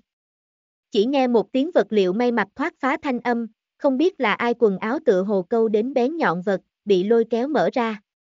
Hai người thân mình lâm vào mềm mại sofa trung, vừa lên một chút, Giang Kiều khóa ngồi ở phong dịch trên người. Làn váy vừa vén, kham kham che khuất nàng đùi, ở trong đêm đen, trắng noãn cực kỳ. Giang Kiều mị hí mắt, đùi chỗ truyền đến một trận đau đớn, làn da bị tim giác cắt vỡ. Phong dịch đem Giang Kiều một phen kéo hạ, thân mình vừa chuyển, tình thế lập tức đổi chỗ. Phong dịch ở thượng, Giang Kiều tại hạ. Phong dịch ánh mắt lạnh thấu xương, lấy hắn nam tính ưu thế hoàn toàn ngăn chặn Giang Kiều. Giang Kiều không muốn ở phong dịch trước mặt nhận thua. Nàng hai chân câu nhanh phong dịch thắt lưng, kéo xuống. Theo động tác, Giang Kiều làng váy trượt, rơi xuống đùi căng chỗ, một đôi trắng noãn chân dài phía dưới, mắt cá chân tim gầy. Bọn họ khoảng cách kéo gần, phong dịch toàn bộ thân mình kinh phúc ở tại Giang Kiều trên người. Giang Kiều nương lực đạo hướng sườn biên vừa chuyển, bọn họ đồng thời ném rơi trên đấy. Lại một lần, hai người tư thế trao đổi. Phong dịch tại hạ, Giang Kiều ở thượng. Nàng tóc dài phất phong dịch mặt, thật nhỏ ngứa. Tùy theo mà đến, còn có Giang Kiều hương vị. Giang Kiều đối hết thảy đều tâm tồn cảnh giác, nàng tin tường biết, Giang gia đại tiểu thư Giang Kiều, không phải hẳn là có như vậy thân thủ. Giang Kiều minh bạch, phong dịch đã đối nàng khả nghi. Đã hắn đối nàng hoài nghi, quấy rầy nàng tiến hành theo chất lượng kế hoạch. Như vậy, nàng nhưng là có thể thay đổi nàng kế hoạch. Nếu đêm nay hết thảy đều là phong dịch an bày cạm bẫy, Giang Kiều cũng không để ý cho hắn một cái nho nhỏ trừng phạt. Hắn hành vi khơi dậy nàng thắng bại dục. Nàng sẽ không nhường phong dịch bắt lấy chính mình, kia chỉ có thể tưởng cái biện pháp nhường hắn phân thần. Giang Kiều mâu quan tiệm thâm, vương tay, dọc theo phong dịch áo sơ mi chất liệu, nàng trong bóng đêm đụng đến cứng rắn lạnh như băng xúc cảm. Hình vuông, có ám khấu, kim chút tính chất. Nàng động tác là khắc chế, không có đụng đến không nên đụng chạm địa phương. Chính là hắn nóng rực hô hấp, không ngừng đánh úp về phía nàng. Liền ngay cả Giang Kiều chung quanh không khí, dường như cũng không hiểu lây dính thượng phong dịch hương vị. Giang Kiều nhẹ nhàng một điều, phong dịch dây lưng khấu mở. Bốn phía không khí bỗng dưng bị kìm hãm, phong dịch lạnh như băng hơi thở nặng nề về phía nàng đè ép đi lại. Ở phong dịch sợ run một lát, Giang Kiều câu môi, đứng dậy, thoát đi. Bạn thích bộ truyện này? Yêu cầu làm truyện và ủng hộ ở mô tả video. Chương 9 Phong dịch liếc hướng Giang Kiều đùi căng. Bạn đang nghe truyện tại mê truyện audio.com Giang Kiều ấm áp nhiệt độ cơ thể ly khai phong dịch thân thể, không khí nhất thời trở nên băng lạnh lên. Phong dịch đáy mắt thâm trầm, thân thủ ấn thượng bên hông dây lưng khấu, nơi đó dường như còn lưu lại nàng độ ấm. Phong dịch đứng lên, thủ phúc ở dây lưng khấu thượng. Trong bóng đêm vang lên một tiếng giòn vang, dây lưng bị khấu trở về. Hắn đi đến rộng mở cửa sổ biên, gió đêm đánh úp lại, gợi lên rèm cửa sổ, nhẹ nhàng phất khởi, tự như vừa rồi giữa hai người cố ý vô tình đụng chạm. Phòng này ở lầu 1, cách phía dưới khoảng cách không xa, Giang Kiều cởi bỏ hắn dây lưng khấu sau, không chút do dự theo này phiến cửa sổ thoát đi. Phong dịch đứng ở phía trước cửa sổ, dưới ánh mắt lạc, dưới là một cái hôn ám ngõ nhỏ, uống lượng khúc chiết, không biết thông hướng nơi nào. Mà cái kia tùy ý làm bậy nữ nhân lại không có bóng dáng. Thản nhiên một tiếng cười lạnh, tán tiếng trong không khí. Đầu hạ chậm rãi thổi tới gió đêm, mang theo một điểm táo, tê dại ngứa ý tự hồ theo đầu ngón tay đặt lên. Phong dịch nắm chặt thủ, hắn như trước có thể cảm giác được chính mình ngón tay lướt qua Giang Kiều trên đùi da thịt khi, tinh tế xúc cảm. Phong dịch rời đi bên cửa sổ, đi vào trong bóng đêm. Lạch cạch một tiếng, trên đỉnh đăng sáng lên, ánh sáng nháy mắt lạc mãn toàn bộ phòng. Phong dịch quét mắt phòng, ẩn ẩn nhăn lại mày. Bởi vì vừa rồi đánh nhau, trong phòng một mảnh hỗn độn, này nọ phân tán nhất, hỗn độn cực kỳ. Trong không khí tự hồ còn lưu lại cái kia nữ nhân hương vị, như có như không. Sofa biên hạ xuống một khối màu đen mảnh vải, phong dịch đi rồi đi qua, hơi hơi ủy khuất, đầu ngón tay gợi lên kia băng vải đen. Nếu là phong dịch không có nhớ lầm, đây là từ trên người Giang Kiều cái kia váy đi lên. Phong dịch tầm mắt hạ di, chỉ phút nhẹ nhàng vuốt phẳng miếng vải đen, mảnh vải dính vết máu, hắn biết mới vừa rồi tiếp xúc chung, Giang Kiều bị thương. Một đầu khác. Giang Kiều thừa dịp phong dịch hoảng thần, lưu ra nhất đoạn ngắn nhường chính mình chạy trốn thời gian. Nàng theo lầu một nhảy xuống, quải ra ngõ nhỏ, bóng đêm vô cùng tốt ẩn tàng rồi nàng thân hình, nàng lập tức về tới trong nhà mình. Giang Kiều đứng ở trước gương, trên người váy thoáng có chút nếp nhăn, trong đó một bên góc váy xé rách, trên đùi để lại một đạo miệng vết thương. Miệng vết thương còn đang ra bên ngoài thấm huyết, làn da màu lót quánh bạch, máu tươi cùng trắng noãn, có chút bắt mắt. Giang Kiều mặt mày một điều, bỏ đi trên người váy dài. Qua một hồi, toilet thủy tiếng vang lên. Giang Kiều đơn giản rửa mặt một phen, xuất ra trong nhà hồng thuốc, bắt đầu xử lý trên đùi miệng vết thương. Trên đùi truyền đến từng trận đau đớn, nhưng là Giang Kiều vẽ mặt nửa phần chưa biến, nàng động tác thuần thục băng bó miệng vết thương. Nàng trên tay động tác không ngừng, suy nghĩ đã có chút phiêu xa. Giang Kiều nghĩ đến ở Linh Trúc trụ đi chuyện đã xảy ra, nàng đồng phong dịch giao thủ, cùng với phong dịch phản ứng. Giang Kiều biết, phong dịch khẳng định đã đối nàng khả nghi, tài sẽ an bài như vậy một hồi cục. Bất quá, Nàng muốn hiểu biết phong dịch là nàng chính mình sự tình, cho dù phong dịch lại thử nàng, chỉ cần nàng không thừa nhận, phong dịch cũng không thể lấy nàng thế nào. Hiện tại phong dịch đã phát hiện, như vậy nàng hội áp dụng một cái hơn cường thế phương pháp. Phóng tại bên người di động bỗng nhiên vang, tiếng chuông bỗng dưng đánh vỡ yên tĩnh, Giang Kiều thu hồi suy nghĩ, tầm mắt hơi hơi phiến diện. Là trác mạng nhân điện thoại. Giang Kiều khóe miệng nhất câu, ý cười cũng không cập đáy mắt, nàng vươn tay, ấn xuống tiếp nghe kiện, mở ra loa phát thanh, lập tức đưa điện thoại di động đặt ở một bên. Trác mạng nhân nghe được điện thoại thông, lập tức ra tiếng. Giang Kiều. Giang Kiều không chút để ý lên tiếng, tiếp tục xử lý miệng vết thương. Nghe được Giang Kiều đáp lại, các mạng nhân lại mở miệng. Ta nghe nói ngươi phụ trách điện ảnh hạng mục tài chính liên chặt đức. Nàng thanh âm mang theo một tia sốt ruột. Ngươi là lần đầu tiên làm sản xuất nhân, kinh nghiệm không đủ, nếu có sự nhớ được tìm trong nhà hỗ trợ. Các mạng nhân trong lời ngoài lời đều là vì Giang Kiều suy nghĩ, nhưng là Giang Kiều rõ ràng nàng ý đồ, nàng muốn biết là mặt khác một sự kiện. Giang Kiều liễm liễm ý cười, giống như lơ đãng nói. Ngươi chẳng lẽ không biết nói phong thị tập đoàn đã quyết định đầu tư sao? Nguyên bản Trác Mạng Nhân muốn mượn việc này làm khó dễ Giang Kiều, không nghĩ tới phong thị tập đoàn nhưng lại ra thủ. Trác Mạng Nhân này gọi điện thoại mục đích thập phần rõ ràng, nàng tưởng thông qua Giang Kiều trong lời nói, đến hiểu biết Giang Kiều cùng phong thị tập đoàn quan hệ. Nhưng Giang Kiều không có như nàng nguyện, trong lời nói tận lực tránh được cái kia vấn đề. Phong thị tập đoàn cùng Tây Hoàng ảnh thị ở nói chuyện hợp tác, chuyện này tự hồ không phải bí mật. Trác mạng nhân. Ngươi chừng nào thì cùng phong thị tập đoàn có quan hệ. Ta biết đến cũng chỉ có nhiều như vậy. Giang Kiều bỏ qua trác mạng nhân trong lời nói, thần sắc lãnh đạm, nếu ngươi suy nghĩ giải trong lời nói, không bằng chính mình đến hỏi. Ân. Giang Kiều thanh âm hạ xuống, trác mạng nhân nghe được nàng trong lời nói không kiên nhẫn, lập tức ngừng đề tài. Thời gian không còn sớm, ngươi sớm một chút nghỉ ngơi. Giang Kiều lười biến ừ một tiếng, cúp điện thoại. Nàng tầm mắt ở ngầm hạ trên màn hình nhiều lưu lại vài giây, theo sau dời đi mắt. Mặt thành sân bay. Này ngày sân bay huyên náo cực kỳ, vây quanh rất nhiều fan cùng phóng viên, đại gia ánh mắt luôn luôn xem xuất khẩu chỗ, chờ đợi một người đã đến. Siêu sao thẩm ngôn phóng. Thẩm ngôn phóng là trước mắt tối đương hồng tân sinh đại thần tượng, vừa ra nói liền bạo hồng, hấp dẫn rất nhiều người chú ý. Thẩm ngôn phóng biểu diễn hội môn phiếu sẽ ở cực thời gian ngắn vậy nội thụ khánh, hắn diễn viên chính điện ảnh là năm nay tính đến trước mắt phòng bán vé quán quân. Biết thẩm ngôn phóng hôm nay sẽ đến, đại gia đã sớm làm tốt chuẩn bị.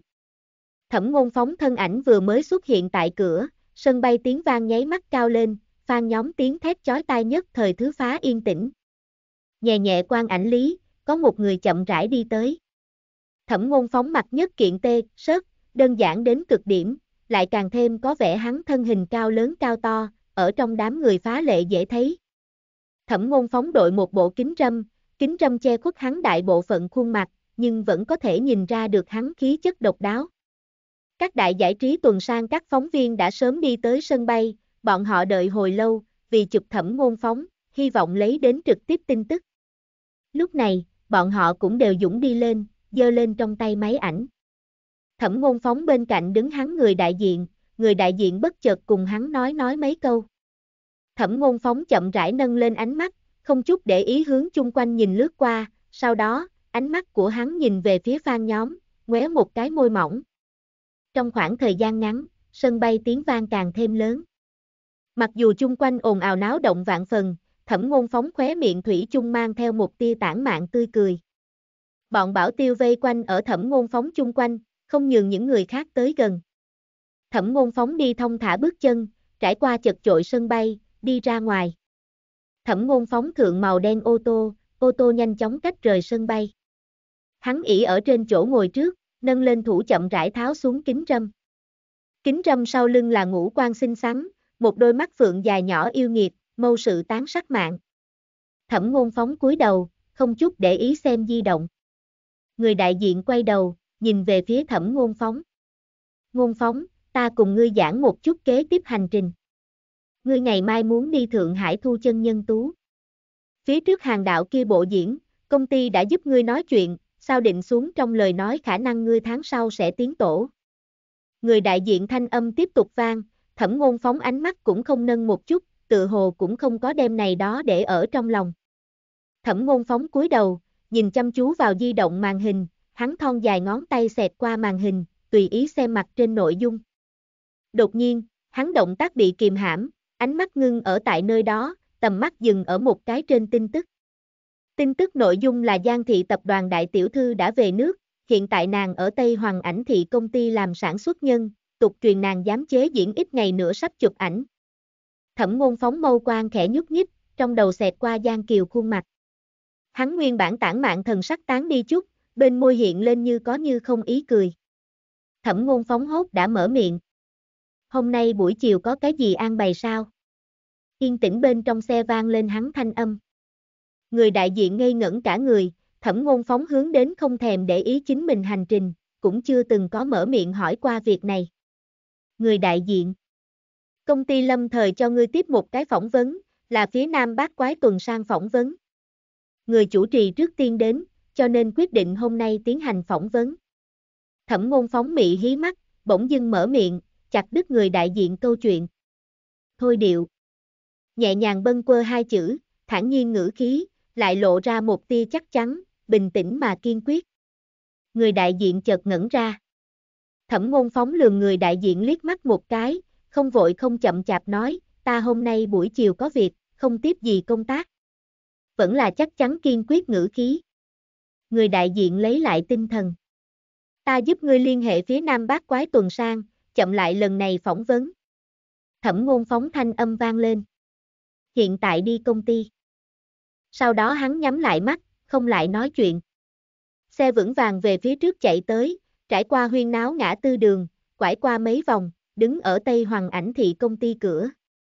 Người đại diện đi xử lý sự tình, thẩm ngôn phóng chậm rãi đi ở trên đường.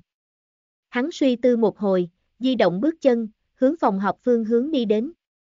Thẩm ngôn phóng đi đến trên hành lang, lúc này cũng không có những người khác, hắn nhàn nhàn ỉ ở trên tường, tư thái lười nhác đến cực điểm.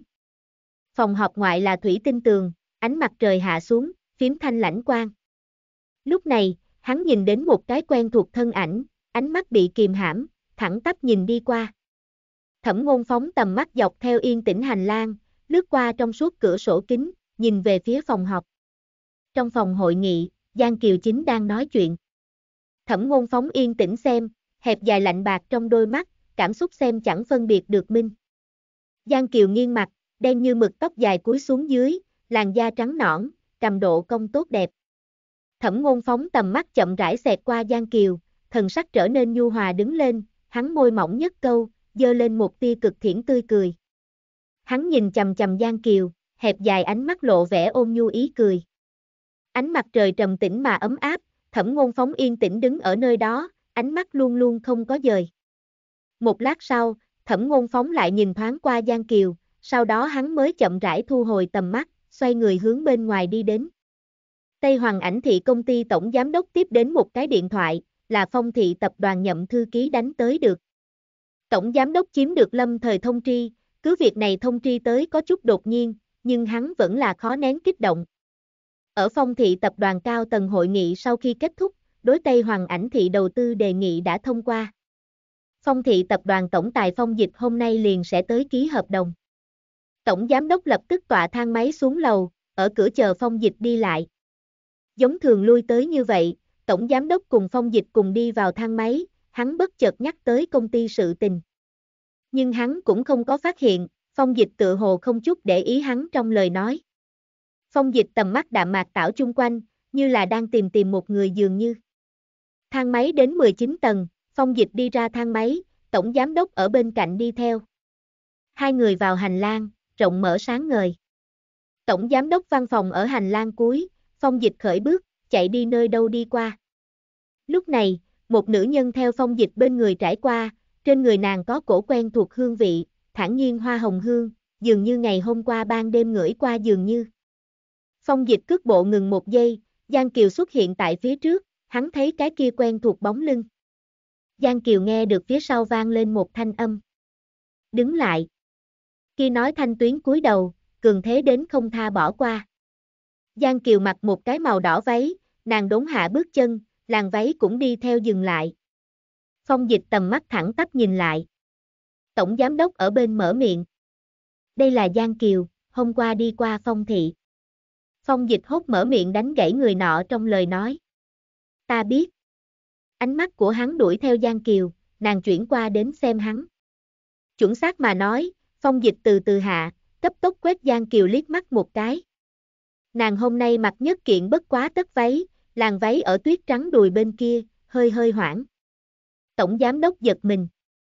Phong tổng, ký hợp đồng sự tình muốn làm sao bây giờ? Lúc này, phong dịch đã xoay người, thanh âm cứ theo lẽ thường lạnh như băng. Lần này đầu tư, buổi chiều bàn lại. Phong dịch không có quan tâm phía sau Tây Hoàng ảnh thị tổng giám đốc, mà là lập tức hướng tới Giang Kiều đi rồi đi qua. Mắt thấy phong dịch đi tới, Giang Kiều không nhúc nhích, nàng liền đứng ở nơi đó, dường như đang chờ hắn đi tới. Nàng thần thái dày, hắn từng bước một hướng nàng. Phong dịch nhìn chầm chầm Giang Kiều ánh mắt, hỏi. Phòng làm việc của ngươi ở đâu? Giang Kiều chống lại phong dịch tầm mắt, đáy mắt tự tiếu phi tiếu. Nàng không có trả lời, xoay người sang chỗ khác, đi về phía trước. Nhưng mà tiếp theo giây, phong dịch nhưng lại theo đi lên. Người khác ghé mắt, bọn họ hai người, nhìn qua ăn ý cực kỳ. Phong dịch ngừng bước chân, Giang Kiều đẩy ra môn, nàng không nhúc nhích, hắn trước khởi bước. Ở trước mắt bao người, hai người cùng vào Giang Kiều văn phòng. Ngay sau đó, cửa phòng triệt để quan thượng, ngăn cách bên ngoài tầm mắt. Hết thảy tự hồ đều có giải thích hợp lý, bao gồm ngày hôm qua cái kia thình lình xảy ra đầu tư. Phong thị tập đoàn nặc danh cao tầng, chỉ tên muốn gặp Giang Kiều. Nhưng là ánh mắt của bọn họ đầu đi qua, chỉ có thể nhìn gặp tối như mực đại môn, bên trong đến cùng hội xảy ra chuyện gì, không có người sẽ biết. Khi Giang trong phòng mặt. Phong dịch đã vào phòng, Giang Kiều hốt dừng cước bộ, nhìn quét hắn. Nhận thấy được phía sau tựa hồ không có động tĩnh, phong dịch theo bản năng quay đầu, tầm mắt dừng ở Giang Kiều trên người. Nàng dựa ở trên cửa, dường như không chuẩn bị đi lại. Phong dịch môi mỏng khẽ mở. Giang Kiều. Hắn lần đầu tiên niệm tên của nàng. Hắn cực thấp thanh tuyến có chút trầm, lọt vào Giang Kiều trong tai, nàng nghe qua, tổng cảm giác không hiểu dụ hoặc. Phong tổng, chúng ta cứ như vậy tán gẫu. Vẫn là nói. Giang Kiều khóe môi nhất loan, ngươi tưởng ngồi xuống, cùng ta nói chuyện. Ngồi xuống này ba chữ, bị Giang Kiều tận lực cường điệu một phen. Rõ ràng là cực kỳ đơn giản một cái câu nghi vấn, Giang Kiều dùng như vậy ngữ khí tha một vòng, ngoài ý muốn mang theo vài phần ái muội cảm giác. Phong dịch trầm giọng nói. Đi lại. Giang Kiều nâng nâng mi, lúc này, nàng tài nhích người. Nàng bộ pháp mạng diệu, màu đỏ làng váy bên cạnh, hơi hơi địa chấn. Phong dịch nhớ lại tối hôm qua kia phiến màu đen làng váy, thượng đầu dính huyết. Lúc hắn nhìn về phía Giang Kiều váy khi, lại chỉ nhìn thấy nàng chân bộ da thịt, bạch đáng chú ý. Đại lâu phía bên ngoài cửa sổ khô nóng mùa hè, cùng bên trong lã chả suy phất lãnh khí, này hai người trong lúc đó, cách một tầng trong suốt lại cứng trắng thủy tinh. Một nửa nóng, một nửa lạnh, đó là một loại nói không rõ nói không rõ cảm giác. Giống như là Giang Kiều người này. Giang Kiều biểu cảm lạnh lùng, nhưng nàng nhìn về phía phong dịch thời điểm, ánh mắt cũng là nóng. Phong dịch tầm mắt chậm rãi thượng di, chống lại nàng. Giang Kiều ánh mắt nhìn chầm chầm, không có gì che giấu, tự hồ cũng không chuẩn bị che lấp, như là đang nhìn một cái con mồi. Nàng lường phong dịch dây lưng khấu liếc mắt một cái, bên môi dạng khởi mỉm cười. Phong dịch ánh mắt nhìn như thản nhiên, ánh mắt hắn sâu đậm cực hắc, trầm mặt lại thâm sâu thúy, là nam nhân ở xem kỹ một nữ nhân. Hắn lường Giang Kiều đùi căng liếc mắt một cái, không nói gì. Bạn thích bộ truyện này? Yêu cầu làm truyện và ủng hộ ở mô tả video. Chương 10 Ta coi trọng phong dịch. Bạn đang nghe truyện tại mê truyện audio.com. Phong dịch cùng Giang Kiều nhìn nhau liếc mắt một cái, nửa phút lý, bọn họ đều ở đánh giá đối phương thân thể, không có nói nửa câu. Giang Kiều trước đã mở miệng. Có không hỏi một câu, Phong Tổng vì sao muốn gặp ta? Nga. Phong dịch nâng mi, Giang sản xuất cảm thấy, ta thấy ngươi còn cần có nguyên vẹn lý do. Phải không? Giang Kiều rõ ràng rõ ràng phong dịch ý tứ, lại tại giờ phút này biểu hiện hoàn toàn không biết gì cả. Nhưng phong dịch nhưng không có não, hắn tầm mắt tảo nàng. Tây Hoàng ảnh thị công ty nhân đều thấy được phong tổng một mình vào phòng làm việc của ta. Giang Kiều phủ phủ mi, làm như cảm thấy có chút bất đắc dĩ, có phải hay không không tốt lắm. Nàng cắn tự trung, chuyên nhận nghiêm cẩn thực niệm một mình này hai chữ. Phong dịch làm như minh bạch Giang Kiều dụng ý, hắn hốt nở nụ cười. Nếu hôm nay về sau, Giang sản xuất bởi vì việc này mà nhận đến quấy nhiễu. Phong dịch dừng một chút, ánh mắt của hắn thẳng tắp, nhìn chầm chầm Giang Kiều ánh mắt. Nặng nề thanh tuyến hạ xuống, nói một câu. Ta có thể phụ trách. Giang Kiều tâm đầu nhất khiêu, sắc mặt cũng không hiển, bên môi như trước mang cười. Phong Tổng muốn hỏi cái gì? Phong dịch. Không có gì, bất quá chính là ngày hôm qua sự tình thôi. Ta đây lại mạo muội hỏi Phong Tổng một câu. Giang Kiều ngước mắt, nhìn Phong dịch liếc mắt một cái, ngươi muốn hỏi, là việc ban ngày tình, vẫn là ban đêm. Phong dịch sợ run một chút, lập tức, môi mỏng ngoéo một cái. Ban đêm. Ngày hôm qua ban đêm. Giang Kiều biểu cảm có chút nghi hoặc, nàng hơi hơi thăm dò thân, xem phong dịch, ta không phải cùng với phong tổng sao. Giọng nói hạ xuống, Giang Kiều bỗng nhiên khởi bước, chậm rì rì đi, đi tới phong dịch đối diện ghế dựa bên cạnh, chậm rãi ngồi xuống. Làn váy lại vừa vặn che khuất đùi gốc, dường như có thể nhìn đến cái gì, nhưng cẩn thận nhìn đi qua, cố tình cái gì đều xem không thấy. Phong dịch tinh tế xem Giang Kiều biểu cảm, nàng một bộ yên tâm thoải mái bộ dáng. Có lẽ là vì tối hôm qua sự tình phát sinh sau, nàng đã không lại ngụy trang. Giang Kiều ánh mắt cũng trở nên trắng ra, không chút nào che lấp. Bất quá, phong dịch lần này đi lại, chính là muốn xem xem nàng trên đùi thương thế nào. Phong dịch chú ý tới Giang Kiều đi bộ dáng, tự hồ cũng không lo ngại. Giang Kiều nên đón phong dịch tầm mắt, nhưng là không có nửa điểm tâm lý chướng ngại. Dù sao, tối hôm qua là phong dịch thiết kế nàng một hồi. Hai người đối diện, phong dịch bước chân trầm ổn, triều Giang Kiều đi tới. Hắn cúi người, chống lại ánh mắt nàng. Phong dịch thanh tuyến như trước cực thấp, chậm rãi học ra một câu. Giang Kiều, ngươi đến cùng tưởng muốn làm cái gì? Thay lời khác nói, phong dịch càng muốn biết, là Giang Kiều tiếp cận mục đích của hắn. Nàng muốn từ hắn nơi này được đến cái gì? Ngươi cảm thấy đâu? Giang Kiều không có chính diện trả lời, ánh mắt nàng nhìn chầm chầm. Viễn chuyển thanh tuyến, dừng ở hắn trong lòng. Giang Kiều tầm mắt có chút không an phận, dường như xuyên thấu qua áo sơ mi tính chất, có thể chạm đến đến thân thể hắn. Phong dịch không có trả lời, đáy mắt hắn lại khôi phục bình tĩnh. Hắn thẳng đứng dậy đến, xoay người ly khai. Giang Kiều không theo sau, nàng đứng lên, xem phong dịch bóng lưng, câu môi, nở nụ cười một chút. Giang Kiều dám chế điện ảnh rất nhanh sẽ khởi động máy, vào ngày ấy phong dịch rời đi sau, bọn họ hai người liền không có gặp lại. Khởi động máy tiền một ngày, Giang Kiều phải đi ảnh thị thành, kịch tổ đã đính tốt lắm phòng. Giang Kiều dùng qua bữa cơm sau, chuẩn bị trở về phòng, nàng thượng thang máy, đi tới hành lang. Hành lang cực kỳ yên tĩnh, hai sườn cửa phòng nhắm chặt. Giang Kiều cước bộ hốt bị kìm hãm, nàng nghe được phía sau truyền đến một trận dồn dập tiếng bước chân. Giang Kiều. Có người ở kêu tên của nàng.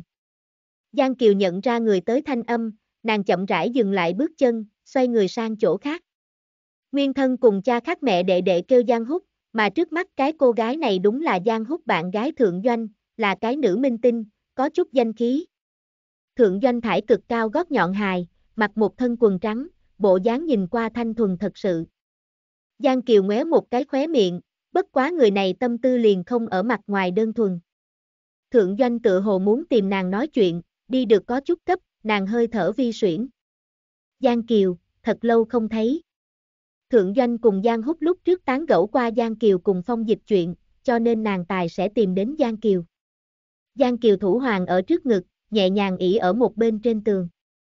Thượng Doanh, ngươi có việc cấp tìm ta. Giang Kiều ngữ khí phô trương, chút không nể mặt Thượng Doanh. Thượng Doanh sắc mặt trở nên có chút khó coi, nhưng nàng rất nhanh thu liễm, nàng biết Giang Kiều tính tình, lại không thể cùng Giang Kiều chính diện khởi xung đột. Thượng Doanh cười cười. Nói gì vậy? Ngươi là Giang Húc tỷ tỷ, ta tự nhiên muốn quan tâm ngươi. Nàng lại nói. Ngươi về nước lâu như vậy cũng không về nhà nhìn xem, a di bọn họ đều thực thắt thỏm ngươi. Giang Kiều tùy ý ứng thanh, đuôi mắt một điều. phải không? Dừng vài giây, Giang Kiều thản nhiên lườm nàng liếc mắt một cái. Ta thế nào không nhớ rõ, ta cùng ngươi quan hệ có tốt như vậy. Thượng doanh hướng đến chán ghét Giang Kiều tính tình, nói chuyện không lưu tình. Huống hồ Giang Kiều có tiếng xấu, lại cùng phong thị tập đoàn phong tổng nhất lên quan hệ. Ngày đó có không ít người thấy phong tổng cùng Giang Kiều vào Giang Kiều văn phòng, không có người biết bọn họ ở bên trong nói gì đó, làm cái gì. Thượng doanh nghĩ đến phong dịch khả năng hội đối Giang Kiều xem trọng liếc mắt một cái, trong lòng không hiểu phát lên một cổ tức giận. Thượng doanh nói bóng nói gió. Ta biết ngươi gần nhất ở cùng phong thị tập đoàn hợp tác, nghiệp nội có rất nhiều nhân đều đối phong tổng có ý tưởng, nhưng là đều không có thành công. Thượng doanh một mặt nói xong, một mặt quan sát đến Giang Kiều biểu cảm. Ta khuyên ngươi, trăm ngàn không cần cùng phong tổng đi được thân cận quá, cuối cùng chịu khổ đầu cũng là ngươi. Giang Kiều khuỷu tay ở trên tường nhất chống đỡ, thẳng đứng dậy đến, hướng thượng doanh phương hướng đi rồi vài bước. Thượng doanh theo bản năng lui về phía sau một bước, nàng xem Giang Kiều có chút lãnh đạm sắc mặt, có chút sờ không cho tâm tư của nàng. Này là nhà ngươi lý ý tứ, ta cũng là vì tốt cho ngươi. Giang Kiều cười lạnh một tiếng. Tốt với ta. Thượng Doanh là Giang Húc bạn gái, Giang Húc chán ghét nàng, Thượng Doanh đương nhiên cùng hắn đứng ở cùng một trận chiến tuyến. Đừng nói là ra tay giúp bận, không bỏ đá xuống giếng sẽ không sai lầm rồi. Giang Kiều thu liễm ý cười, thần sắc lạnh xuống dưới. Ở ta bị trên mạng lời đồn đãi công kích thời điểm, ngươi thế nào không có đứng ra? Ở ta bị người khác vu hãm thời điểm, ngươi lại ở đâu? Thượng doanh giật mình, dĩ vãng Giang Kiều tính tình kiêu căng, nhưng là cũng sẽ không cùng hiện tại giống nhau cường thế, có rất mạnh cảm giác áp bách. Giang Kiều thanh âm không ôm không nóng. Loại này dối trá trong lời nói ta về sau không nghĩ lại nghe. Nàng lại tiến về phía trước một bước. Tầm mắt thẳng tắp dừng ở thượng doanh trên người. Cuối cùng, ta rõ ràng nói cho ngươi. Giang Kiều gằn từng tiếng, tận lực cường điệu.